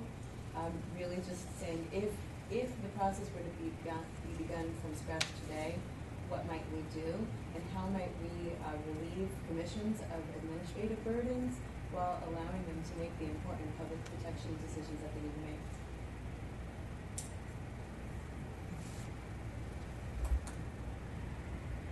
Just a, a question or a clarification, you didn't speak to the policy development piece, it said conducted by CBE and staff? When you, uh, under option one? So I'm assuming the development of, of rules and guidelines that govern the accredited schools would be conducted by CBE and staff, could you flesh that out a little bit? Sure, I mean, obviously, all of this is in the process of being developed, so some of the things are, are left to be worked out. Uh, CBE and the Board of Trustees are, are those that have the rule-making capability at the State Bar, but staff, uh, being involved in handling the day-to-day functions here, um, would also have a suggestion role, um, and might have a policy role, um, much as staff does now. So for example, later in the day, we'll be showing you, uh, the new six oh six one forms that, um, incorporate the law school feedback. So that might be a policy, uh, element that the state bar staff is implementing, and that would continue to be true in the new law. Greg, I had a question. So I see that option two, the outsource to Wa- uh, WASC is still alive. Um, so I remember we had a presentation where we had, uh, members of the California schools specifically address the issues, the pros and cons. And, you know, my memory's not as good as it used to be, but I distinctly remember having uh, the clear understanding that WASC was unfeasible from a financial point of view for virtually all of our California schools. Has there been some information that perhaps I missed, or WASC has said, oh, we want to do this and we're going to give the bargain discount to the California schools so that the cost to the schools is something equivalent to the current cost for our oversight. Natalie? Um, sure, so I wasn't present for that discussion, although I reviewed some of the materials that were a part of that. Um, there's no doubt about it that the, the cost for the WASC accreditation and the yearly dues for WASC are higher, so that's a- definitely a factor that should be part of the discussion, and that I think, um, Joanna would say has been a very active, uh, part of the board discussion as well. Um, at the same time, what we've learned, uh, in looking at the Cal schools is that for at least nine of them, this is a worthwhile discussion, even at the point where they're paying not only the WASC fees, but also the state bar fees as well. So turns out that actually they are able to do so. That's nine. That's nine Nine. Six are, are not pursuing, um, and don't have that interest as far as I know at this time. A separate issue that's going to be discussed is the role of the mandatory, uh, or the role of the unaccredited schools and, um, the mandatory accreditation package that was put together by the CBE and the Board of Trustees. Um, so there is a question, a separate question on the boards as to if that goes forward, what would be the effect on the unaccredited schools to be accredited by anybody, um, any space body as opposed to anybody. So I don't see that as an option. Is that addressed here in this uh, appendix I? Um, it is, it is a separate proposal because it's part of the rules package that the CBE, um, and the Board of Trustees had already passed after, um, input from working groups that included members of RAC. So that would be something to be considered, um, and there would be legislative changes that would need to be, um, taking place for that to go forward, and those legislative changes are not in process right now. So as it exists right now, there is no mandatory path to accreditation for the unaccredited schools. But we do plan on, on including that, part of that discussion in um, the, uh, in the appendix I report that goes to, to the board. So we want to sort of bring that issue up as well as it relates to mandatory accreditation, as well as if not mandatory accreditation, then the option for accreditation for the online schools and, and how that plays into this discussion. Yes, so here's, Donna, here's my problem as it relates to the accreditation process for what we call the unaccredited schools, is I don't see a home for them if you're gonna outsource to us. So it seems like this is a kind of unfinished business for the bar to be pushing forward to the board for a decision. Um, and certainly, you know, at least my view is, I mean, WASC is, I don't think is an overall feasible option if we still are going to have, as the legislature has said, and provides value to our communities, if we are going to continue to have California schools and registered schools in the state. And the legislature's clearly said that there's clearly great reasons to have affordable legal education. It promotes diversity, which is, has to be a mandate of the state bar. Um, and going to a more expensive option, such as WASC, is going to eliminate, not increase, the number of schools. So, and this is why um, I think uh, Natalie may have alluded to, you know, had a meeting with a, a number of the Cal deans, um, and um, we're talking about options. So, um, so as they said, sort of what you see on the screen are the two options that were presented to the programs committee. Um, we talked about about another option that Natalie described of sort of figuring out sort of what is essentially sort of what is the purpose of accreditation, and you know maybe even limiting accreditation to those three items that Natalie talked about: bar passage, um, uh, employment, um, post law school employment, and um, and uh, client satisfaction, customer satisfaction we are, you know, looking at the issue of what if you treat uh, Cal accredited schools um, or the unaccredited potentially the way we do with ABA, right? So you're deemed approved um, if you are already WASC accredited. Um, so you wouldn't be part of the Cal accreditation. There, we are continuing to talk through these options um, and um, and continuing to sort of figure out what what might be the best way to go. It may be, Karen, mm-hmm. that um, we get to the board meeting in September, right, this, we don't get to make the decision here, the board does. Um, and it may be we get to the board meeting and the board feels like we don't have enough answers at this point, um, and, and we need to engage in some further study on this before we move forward. And to the extent that we are talking about mandatory accreditation of online school, of, I'm sorry, of um, what are now the unaccredited schools, if we were to go in the WASC direction, obviously that would mean that they would need to be WASC accredited as well. And so just um, to throw a little, um, a little splay into the discussion, uh, there is actually one unaccredited school that is WASC approved, uh, but it is one of the largest schools. Um, it has 3,500 students overall in the university and about 100 students in the JD and similar programs. So uh, it's it's quite different than many of the unaccredited schools. Um, so can I just say that? I know WASC is not a specialty review for law schools. That is not the same thing as the ABA accreditation. It is not the same thing as the accreditation we do.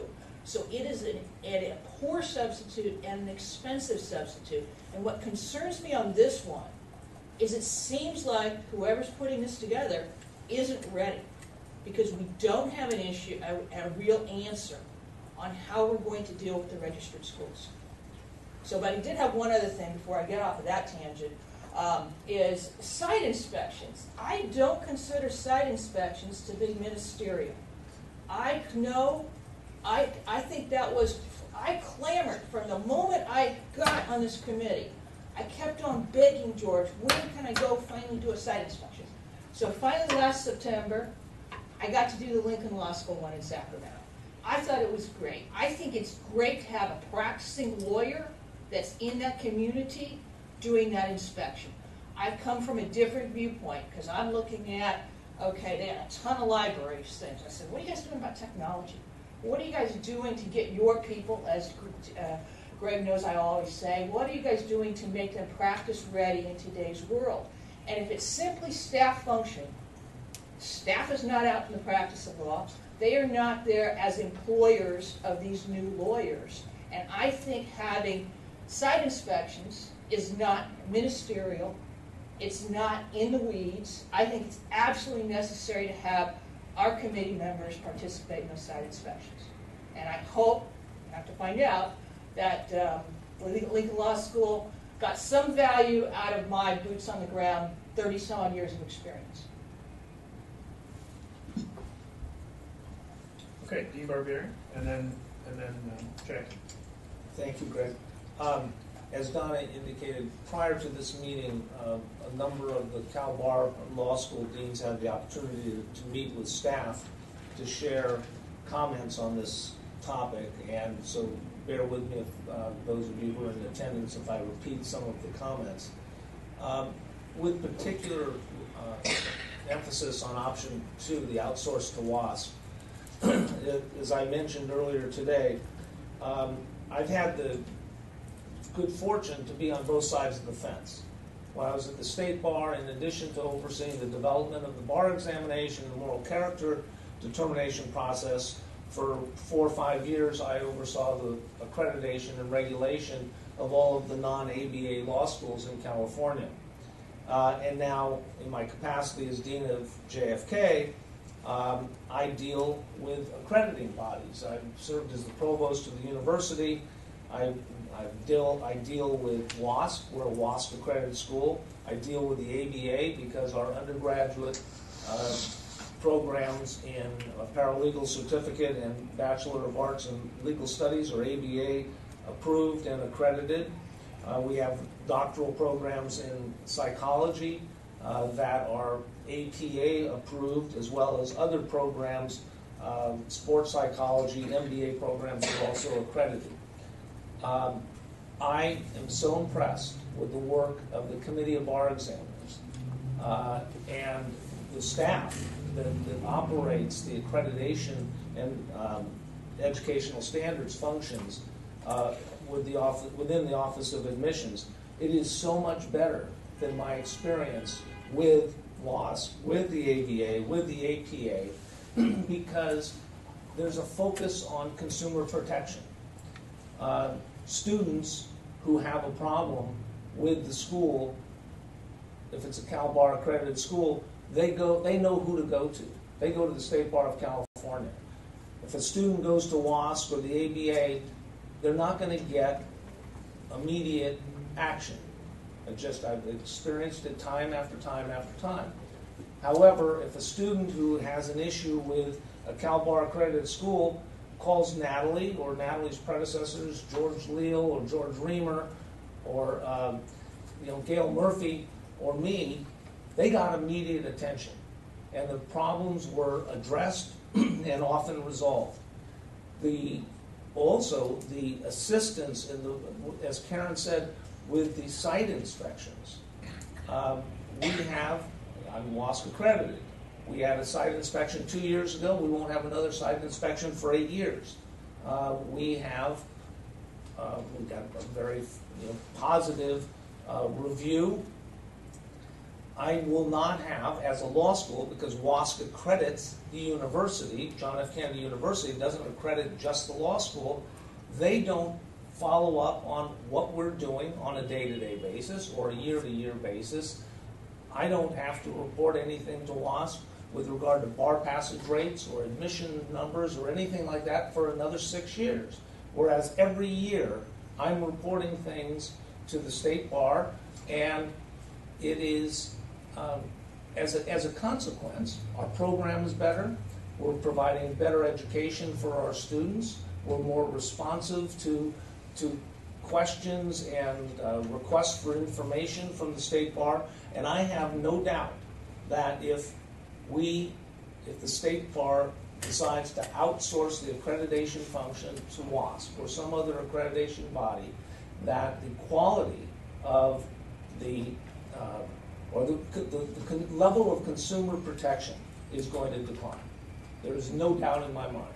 And as, as Karen said, having the site visits at our schools where there's a member of the committee, a member of another law school, as well as a- either a, a, a consultant or a staff member.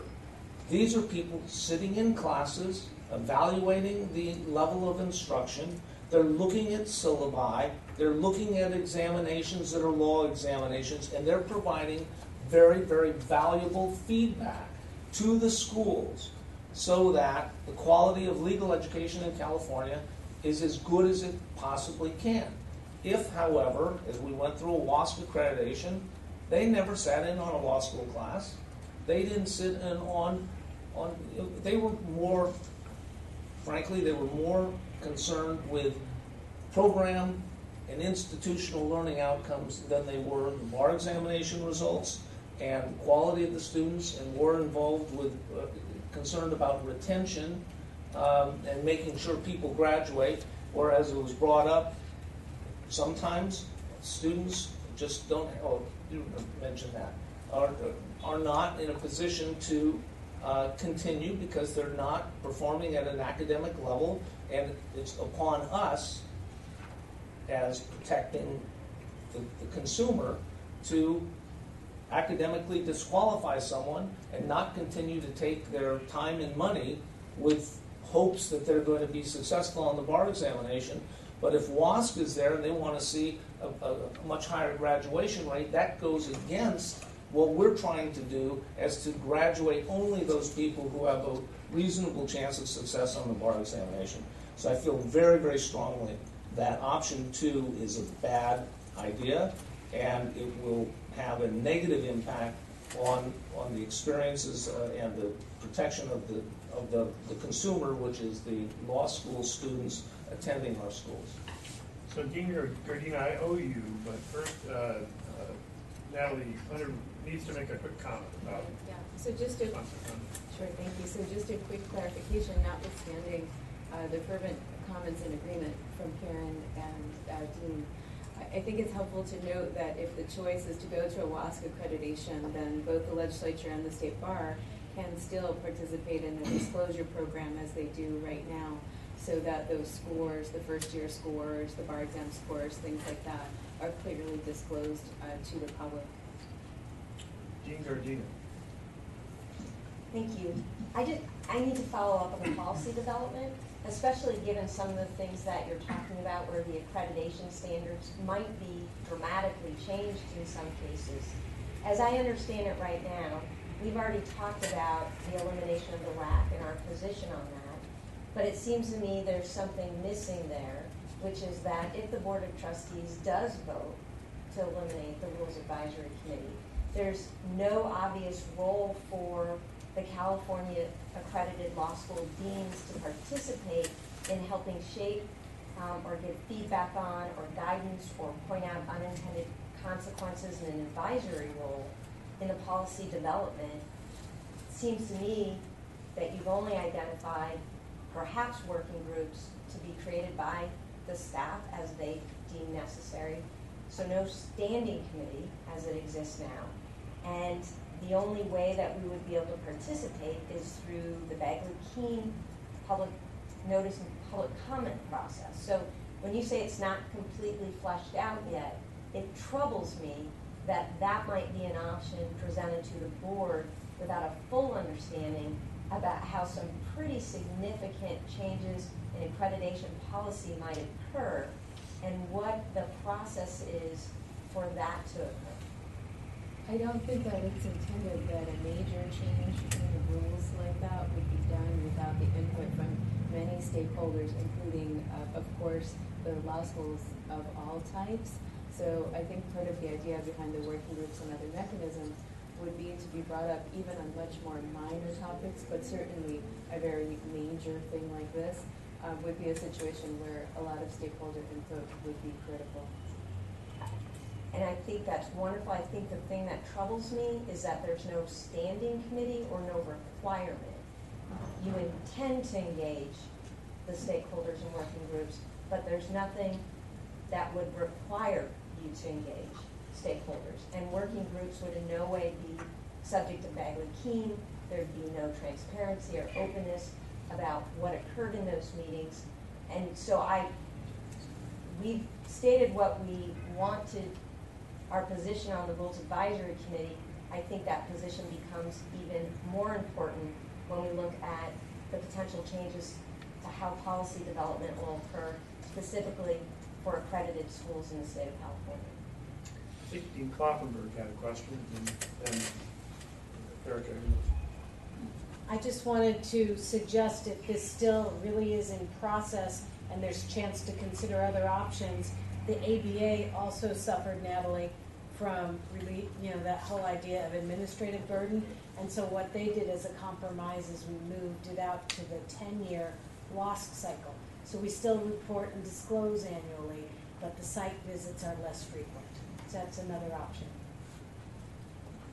And I, to add to what Dean Barbieri and Karen said in terms of site visits, uh, especially if you're talking about local attorneys, a lot of times we know the people who are instructors and we know what their reputation is and we know if they're going to be effective um, in terms of how they practice in reality and what they're teaching students. Um, the other thing, I, I did go on an inspection and what's valuable to us is getting student comments. There's no other way that all of these students would have an opportunity to come up and voice a concern or opinion or um, praise for the school that they're attending because they're not necessarily going to write a letter, write an email, pick up the phone. If we're standing there in front of them, then yes, they comment and we get a lot of really valuable comments that way. And the last thing was, if we do stay with a staff member, I think it's important to have a check and balance.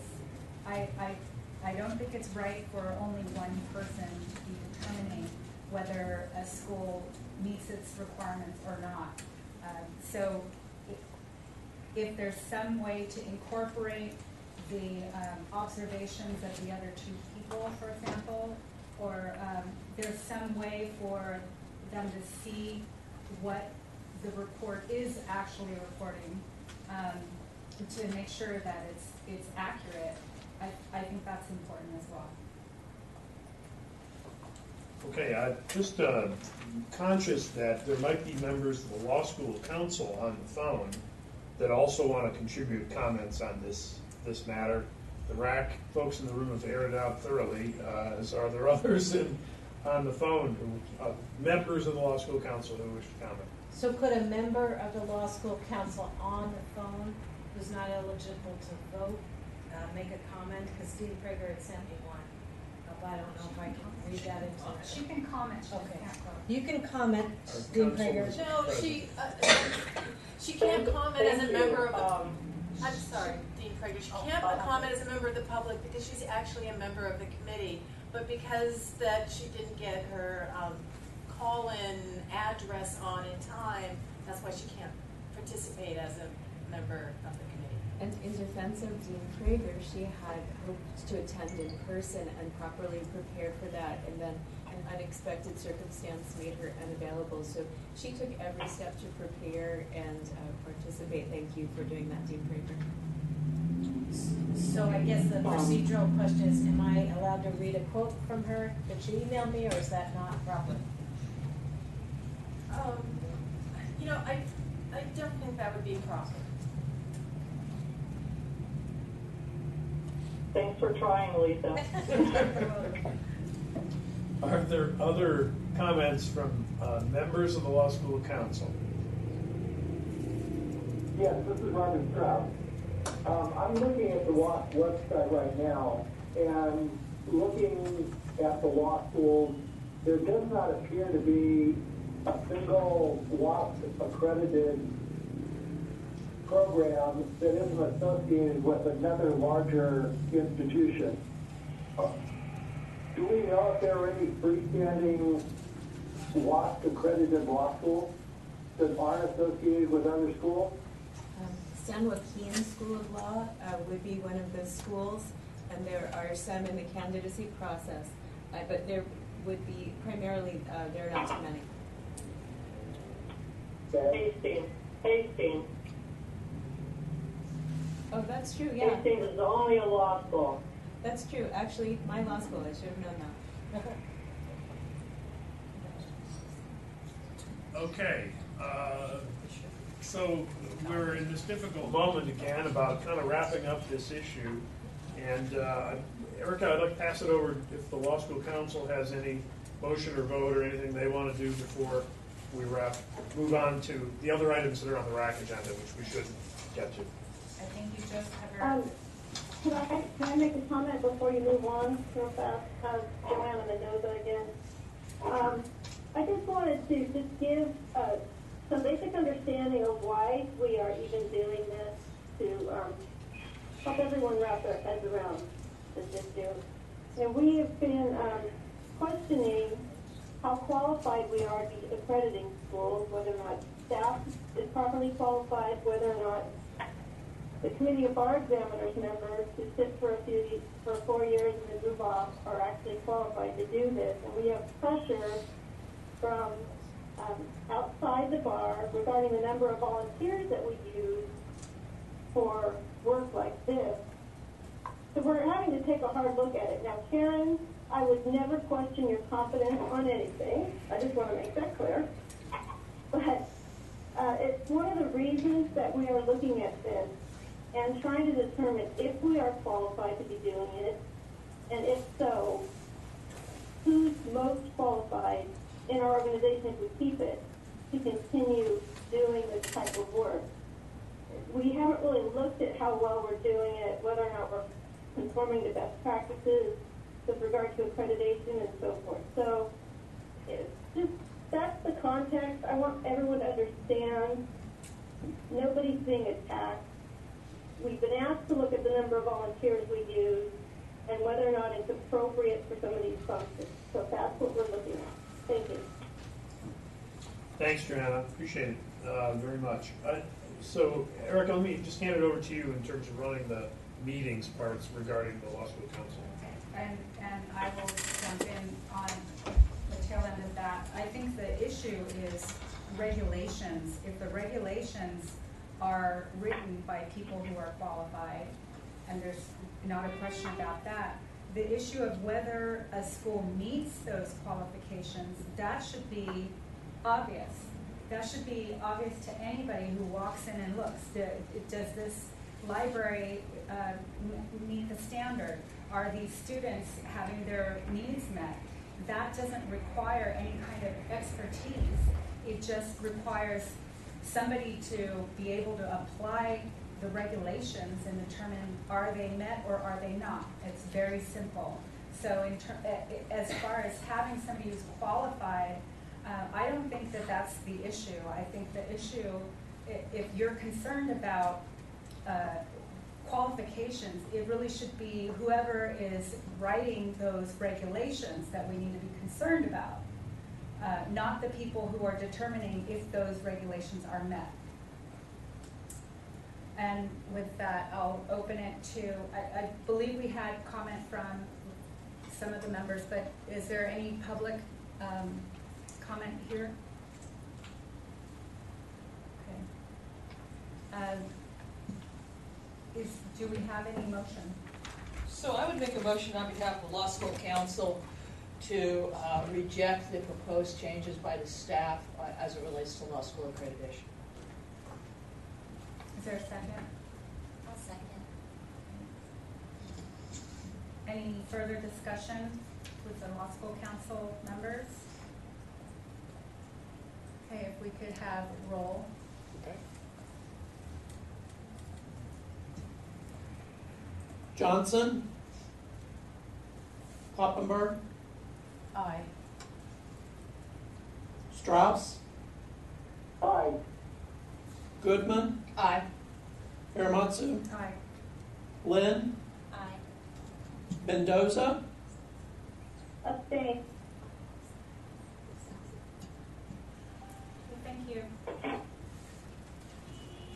Dean Susan Prager has left the conference. All right, so just, so again, to wrap this up, uh, on the RAC side, are there any motions on the RAC side? Yes, today's, today's my, well, since it's my last day, it's my, my day to make my motion. So I would, I would make the same motion on behalf of RAC that uh, we would reject the proposed changes by staff. So, uh, to be really clear, there are two options, and the motion is to, to adopt neither of these specified options. Yes, that's true. And so the motion essentially is a motion to retain the status, the, the current state of Yes. things with Yes. respect to accreditation. Yes. Okay, just to be sure that that's clear. And a second, or, or is there a second, I should say? I'll second. And is there further discussion?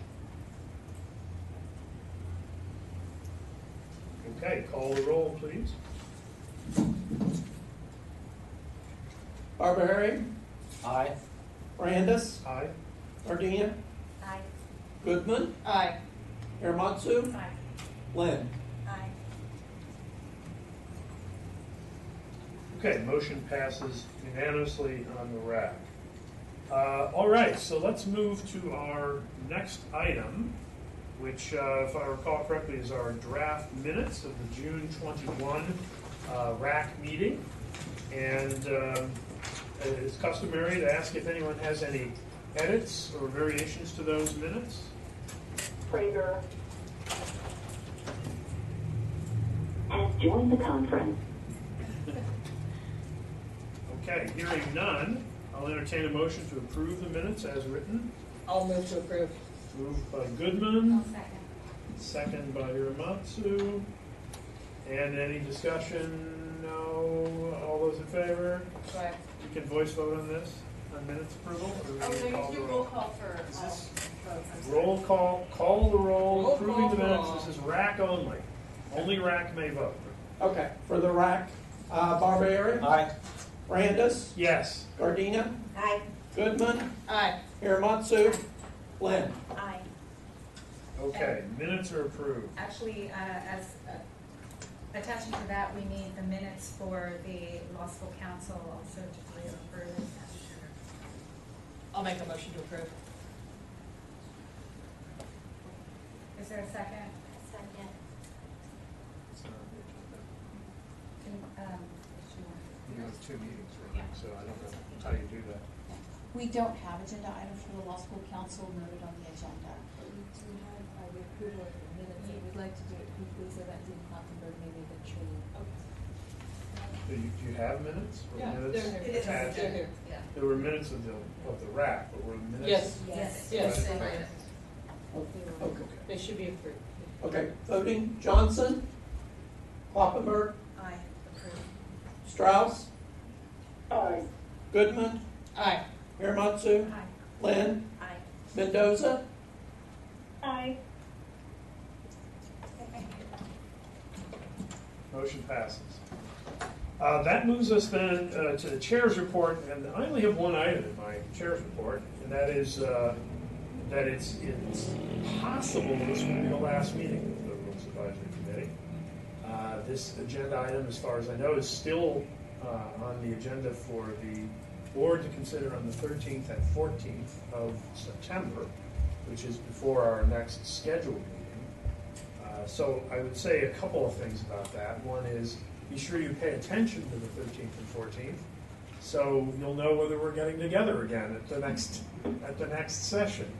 Um, It uh, obviously depends on a lot of things, but uh, then in that regard, I would also say it's been a great pleasure uh, to uh, work with all of you and serve in this period of time as your chair. I think we've done a lot of good things, and as I think today's meeting uh, demonstrates, there's an importance to the forum to kind of hash these things out and provide input, input of value to the ultimate decision makers.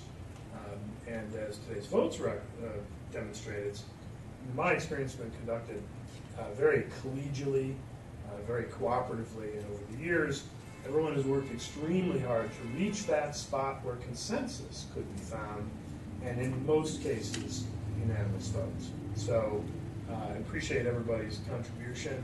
Um, I would also note that in my chair's report that uh, my term is coming to an end on the RAC, and so even if the RAC is still around, I may not be with you for much longer. So again, the same appreciations apply, and that's, that's the only pace that I have in my chair's report.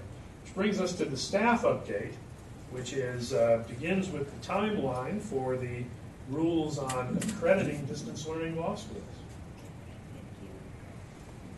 Sorry, thank you, Greg, as I turn off my mic. Uh, So I have several uh, options, and I'm I'm aware of the time, so I will try to be brief. I'm I'm here as long as you need me, but I know that many of you have planned to be here just till five. Um, With respect to the approved package of rules and guidelines that included both mandatory accreditation and online rules, uh, we've been looking at options to tease apart the portion of those rules that would not need further rule changes or legislative action um, regarding online schools. And you can see with the broad nature of the discussion today, it would be premature. Janice Pearson, Dean, San Joaquin College of Law. Has left the conference. to try to implement um, a package of rules at this time with this type of decision pending, um, and in addition with the types of changes pending that the CBE um, has already requested, and frankly, the very large number of questions that we've received from the deans themselves, which we welcome, and we continue to um, encourage you to uh, ask questions that you might have regarding those. So they definitely are still front and center, um, along with a large number of things, and we're trying to think about a reasonable way and time to see um, how as many of those rules can be implemented as soon as practical. And that's what I have. Okay, so, uh, uh, discussion on the RAC, again, this is just strictly RAC now, uh, regarding, uh, this, uh, status those rules? Yeah, I do have a question, Uh, so I'm regret, recognizing that you were presenting as quickly as you could, and- and recognizing and appreciating that you were presenting as quickly as you could. You mentioned that there were a lot of questions from deans. Are those questions from deans about those rules? Uh, Are you gen- receiving a lot of questions about those rules? Yes, well, either about those rules or about different situations applicable to those rules, yes. Okay, all right. Because of the general interest in distance education, you're getting inquiries from schools, and they would therefore relate to those rules, I take it. Okay, all right. But I want to be sure, clear about that. Those rules are the product, I'm saying, I'm going to keep saying this, as long as I have a pulpit to say it in, uh, of a nearly six, or almost, more than six-year process at this point, uh, and thoroughly vetted, repeatedly in public comment, voted three times by the Committee of Bar Examiners, voted twice by the Board of Trustees. I mean, you've heard me say this a million times. Uh, At this point, uh, there should be no question as to whether those rules are approved. Uh, the- It it frankly looks very bad, I have to say, that the State Bar is not proceeding with these rules in an expeditious manner. On November 5th, they will have been approved by the board for a final time for a full year. And uh, so I recognize that it's kind of caught up in all of this stuff, and it should not be. And I'm wish to go on record saying that that's a great tragedy, that it is caught up in that, in that process.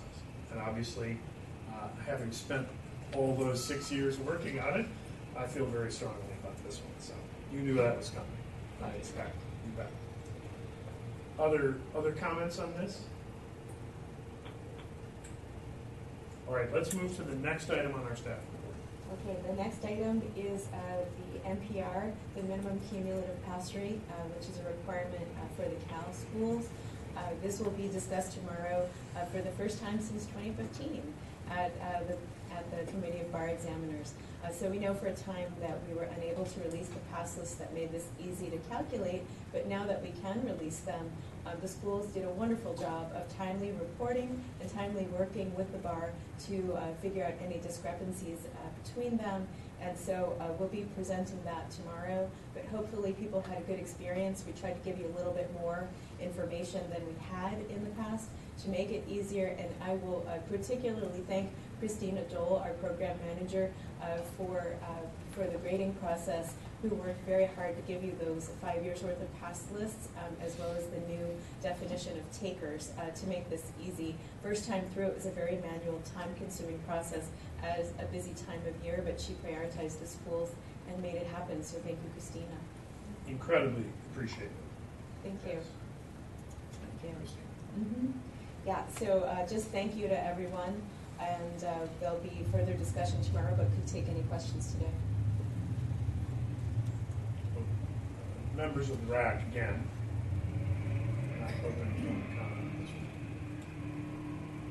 Okay, let's move on then to, our next is sixty sixty-one point seven. Sure. Um, Under California Business and Professions Code, uh, both the unaccredited and the Cal accredited schools are required to post some disclosures on their website every January. Um, And they are a range of different things about admissions, tuition, financial aid, bar passage, et cetera. Um, And we had discussed the possibility of having the Cal schools repost their scores after the release of this MPR, because the MPR figures that everyone has been posting um, are now three years old. Uh, But in the meantime, uh, in working with the Cal schools, we have not yet had time to afford the same opportunity to the unaccredited schools. Uh, So the Cal schools will not be required to repost, um, but we did take into account the comments and feedback provided at the RAC last month about the form and how to make the form easier to use. So uh, for those of you that would like to stay around or have a copy mailed to you to look at the draft form, uh, you're welcome to do that and to see the incorporation of uh, your feedback. Thank you. So- So Natalie, did you, I understand that you brought copies for a conversation around it? Um, I did bring copies. Uh, it's probably not very easy to have a conversation about a full uh, disclosure form here in the RAC, but uh, I'd be happy to make this available. Well, I don't want to shortcut it if it's something important for you to have. Uh, So I think you, you um, are saying that we will not be requiring people to repost, and therefore this item could safely be put over to another time. In other words, input to you on the form changes could safely be put over to another time? I'm just Uh, trying to understand the, because I don't want to shortcut it because the time is important. Sure. I, I think that here the changes are, uh, there are no changes to the business and professions code. So there are no changes of any kind to what the schools report. We have merely made formatting changes to make the form easier to handle. Um, and so, uh, we do not have the privilege to change that which the legislature asked the schools to disclose. Um, and so I think that uh, it would be helpful to receive formatting comments today only because when the annual report forms go out, embedded in those forms will be some of these questions to prepare you, and I'd like to have those annual forms match. But I think you'll find the changes are, are nip and tuck, uh, changes made to make it um, more clear for the folks putting this together the schools. All right, so now you, now you said something that makes me think maybe we should look at this, because the forms for the annual report are being finalized now. Yes. And need to be out In September. urgently. In. September. So are you saying that the changes to this form will change the annual report form? Um, or, Not really. So let me give you an, an example of a specific change. I think this will make it much easier. okay, So for example, when you look at the employment outcomes, those employment outcomes are based on a three-year trend. So for the current form, uh, you would look at employment status of 2014 grads, um, how they did in 2015, 2016, and 2017 in terms of employment. Uh, often staff um, at the schools were confused by that, and they would give us not how 2014 grads are doing in each of those three years, but rather how 2014 did, how 2015 did, how 2016 did. Um, so now we've clearly changed the form to say, look at this class for each of the three years. So I think the changes are, um, are minimal, okay. with right, that being probably the most complex example of any change on the form. Okay, and they don't uh, substantively change the questions that are on the annual report form, and we're not substantively changing the questions on here, or the data reporting on here, because we can't. Correct. Okay, and there aren't Correct. additional questions, there aren't, there's no additional report, data No. being reported, No. okay, all right. People can just ask for a copy from Natalie. Um, Would you be able to email it if somebody on the phone wanted to see it? Absolutely. And, and make whatever comments to Natalie uh, as far as uh, input goes. Yes. And Natalie, just so I understand, uh, originally you wanted us to repost. What I'm hearing from you is we don't need to repost an updated form until the January first date. That it was originally. Correct, and the reason being, uh, we learned since the last meeting that now the Cal schools have the materials needed to post a twenty eighteen MPR score, but the unaccredited schools do not yet have those materials, so you would be posting, uh, different years. So to allow you to have consistent posting, we need more time for the unaccredited schools to hopefully have the good experience that you Cal schools have had. Yes. Just a point, calculating the MPR is not a good experience.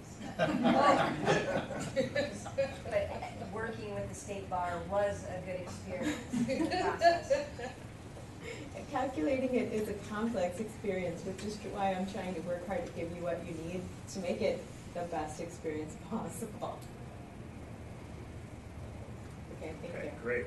Uh, So, uh, anything else on that? I assume not? Okay, Let's go on then to uh, our fourth item on the staff report, and that's status of the reviews of web uh, compliance, uh, web communications for compliance with two point three D three?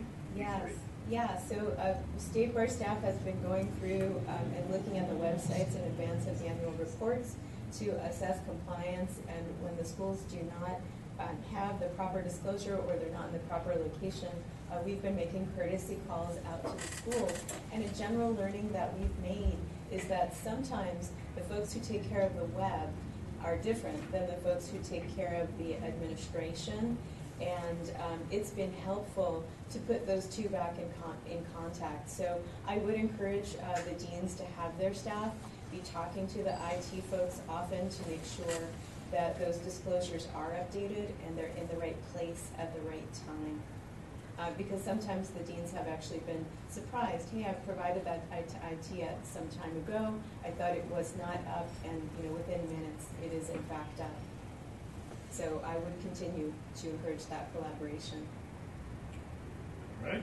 Uh, Comments or questions from RAC on that one? Okay, sounds good.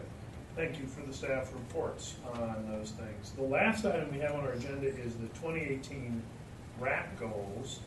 Uh, Now, we're, as I said, um, uh, ending my term certainly as your chair, and you know, chairs really want to try to achieve the goals that the group set for themselves during that period of time. Uh, There's a number of these items on here that we're not going to achieve uh, clearly. So uh, you have my uh, regret that I wasn't able to complete those items. And uh, given the lateness of the hour, we won't go through them uh, one by one. Uh, But uh, I guess, uh, are there any items that anyone wants to remove from the goals at this point? No, Uh, I did want to say one thing though. I still think, and I see item number one's minimum competence, which I think was a very important goal. And it's, um, I share uh, Greg's concerns that we weren't able to achieve the goal. It was through no fault of either the committee or this um, group here that we didn't, we weren't able to really do the appropriate uh, analysis and have a discussion on what constitutes minimum competence for first year law school. So assuming we have RAC next year in some form, and assuming we, the committee of bar examiners is able to have any policy discussions next year, after the board does whatever vote it does, I would hope that they, they, they keep a close eye on what this working group is going to do with minimum competence. Um, and I think that's something in the future that, that everybody here should be very concerned about. All right, thank you. Other, are there other comments? Okay, if there are no other comments on the goals, then uh, that, is- that brings us to the end of our meeting. Uh, Do I have a motion to adjourn? So moved. So moved. Second by Gardina, all in favor? Aye. Aye, and we are adjourned. Thank you, everyone. Thank you, Greg. Aaron Bryce, Thanks, Columbia Daniel, University. are interested. Has left the conference. One this year.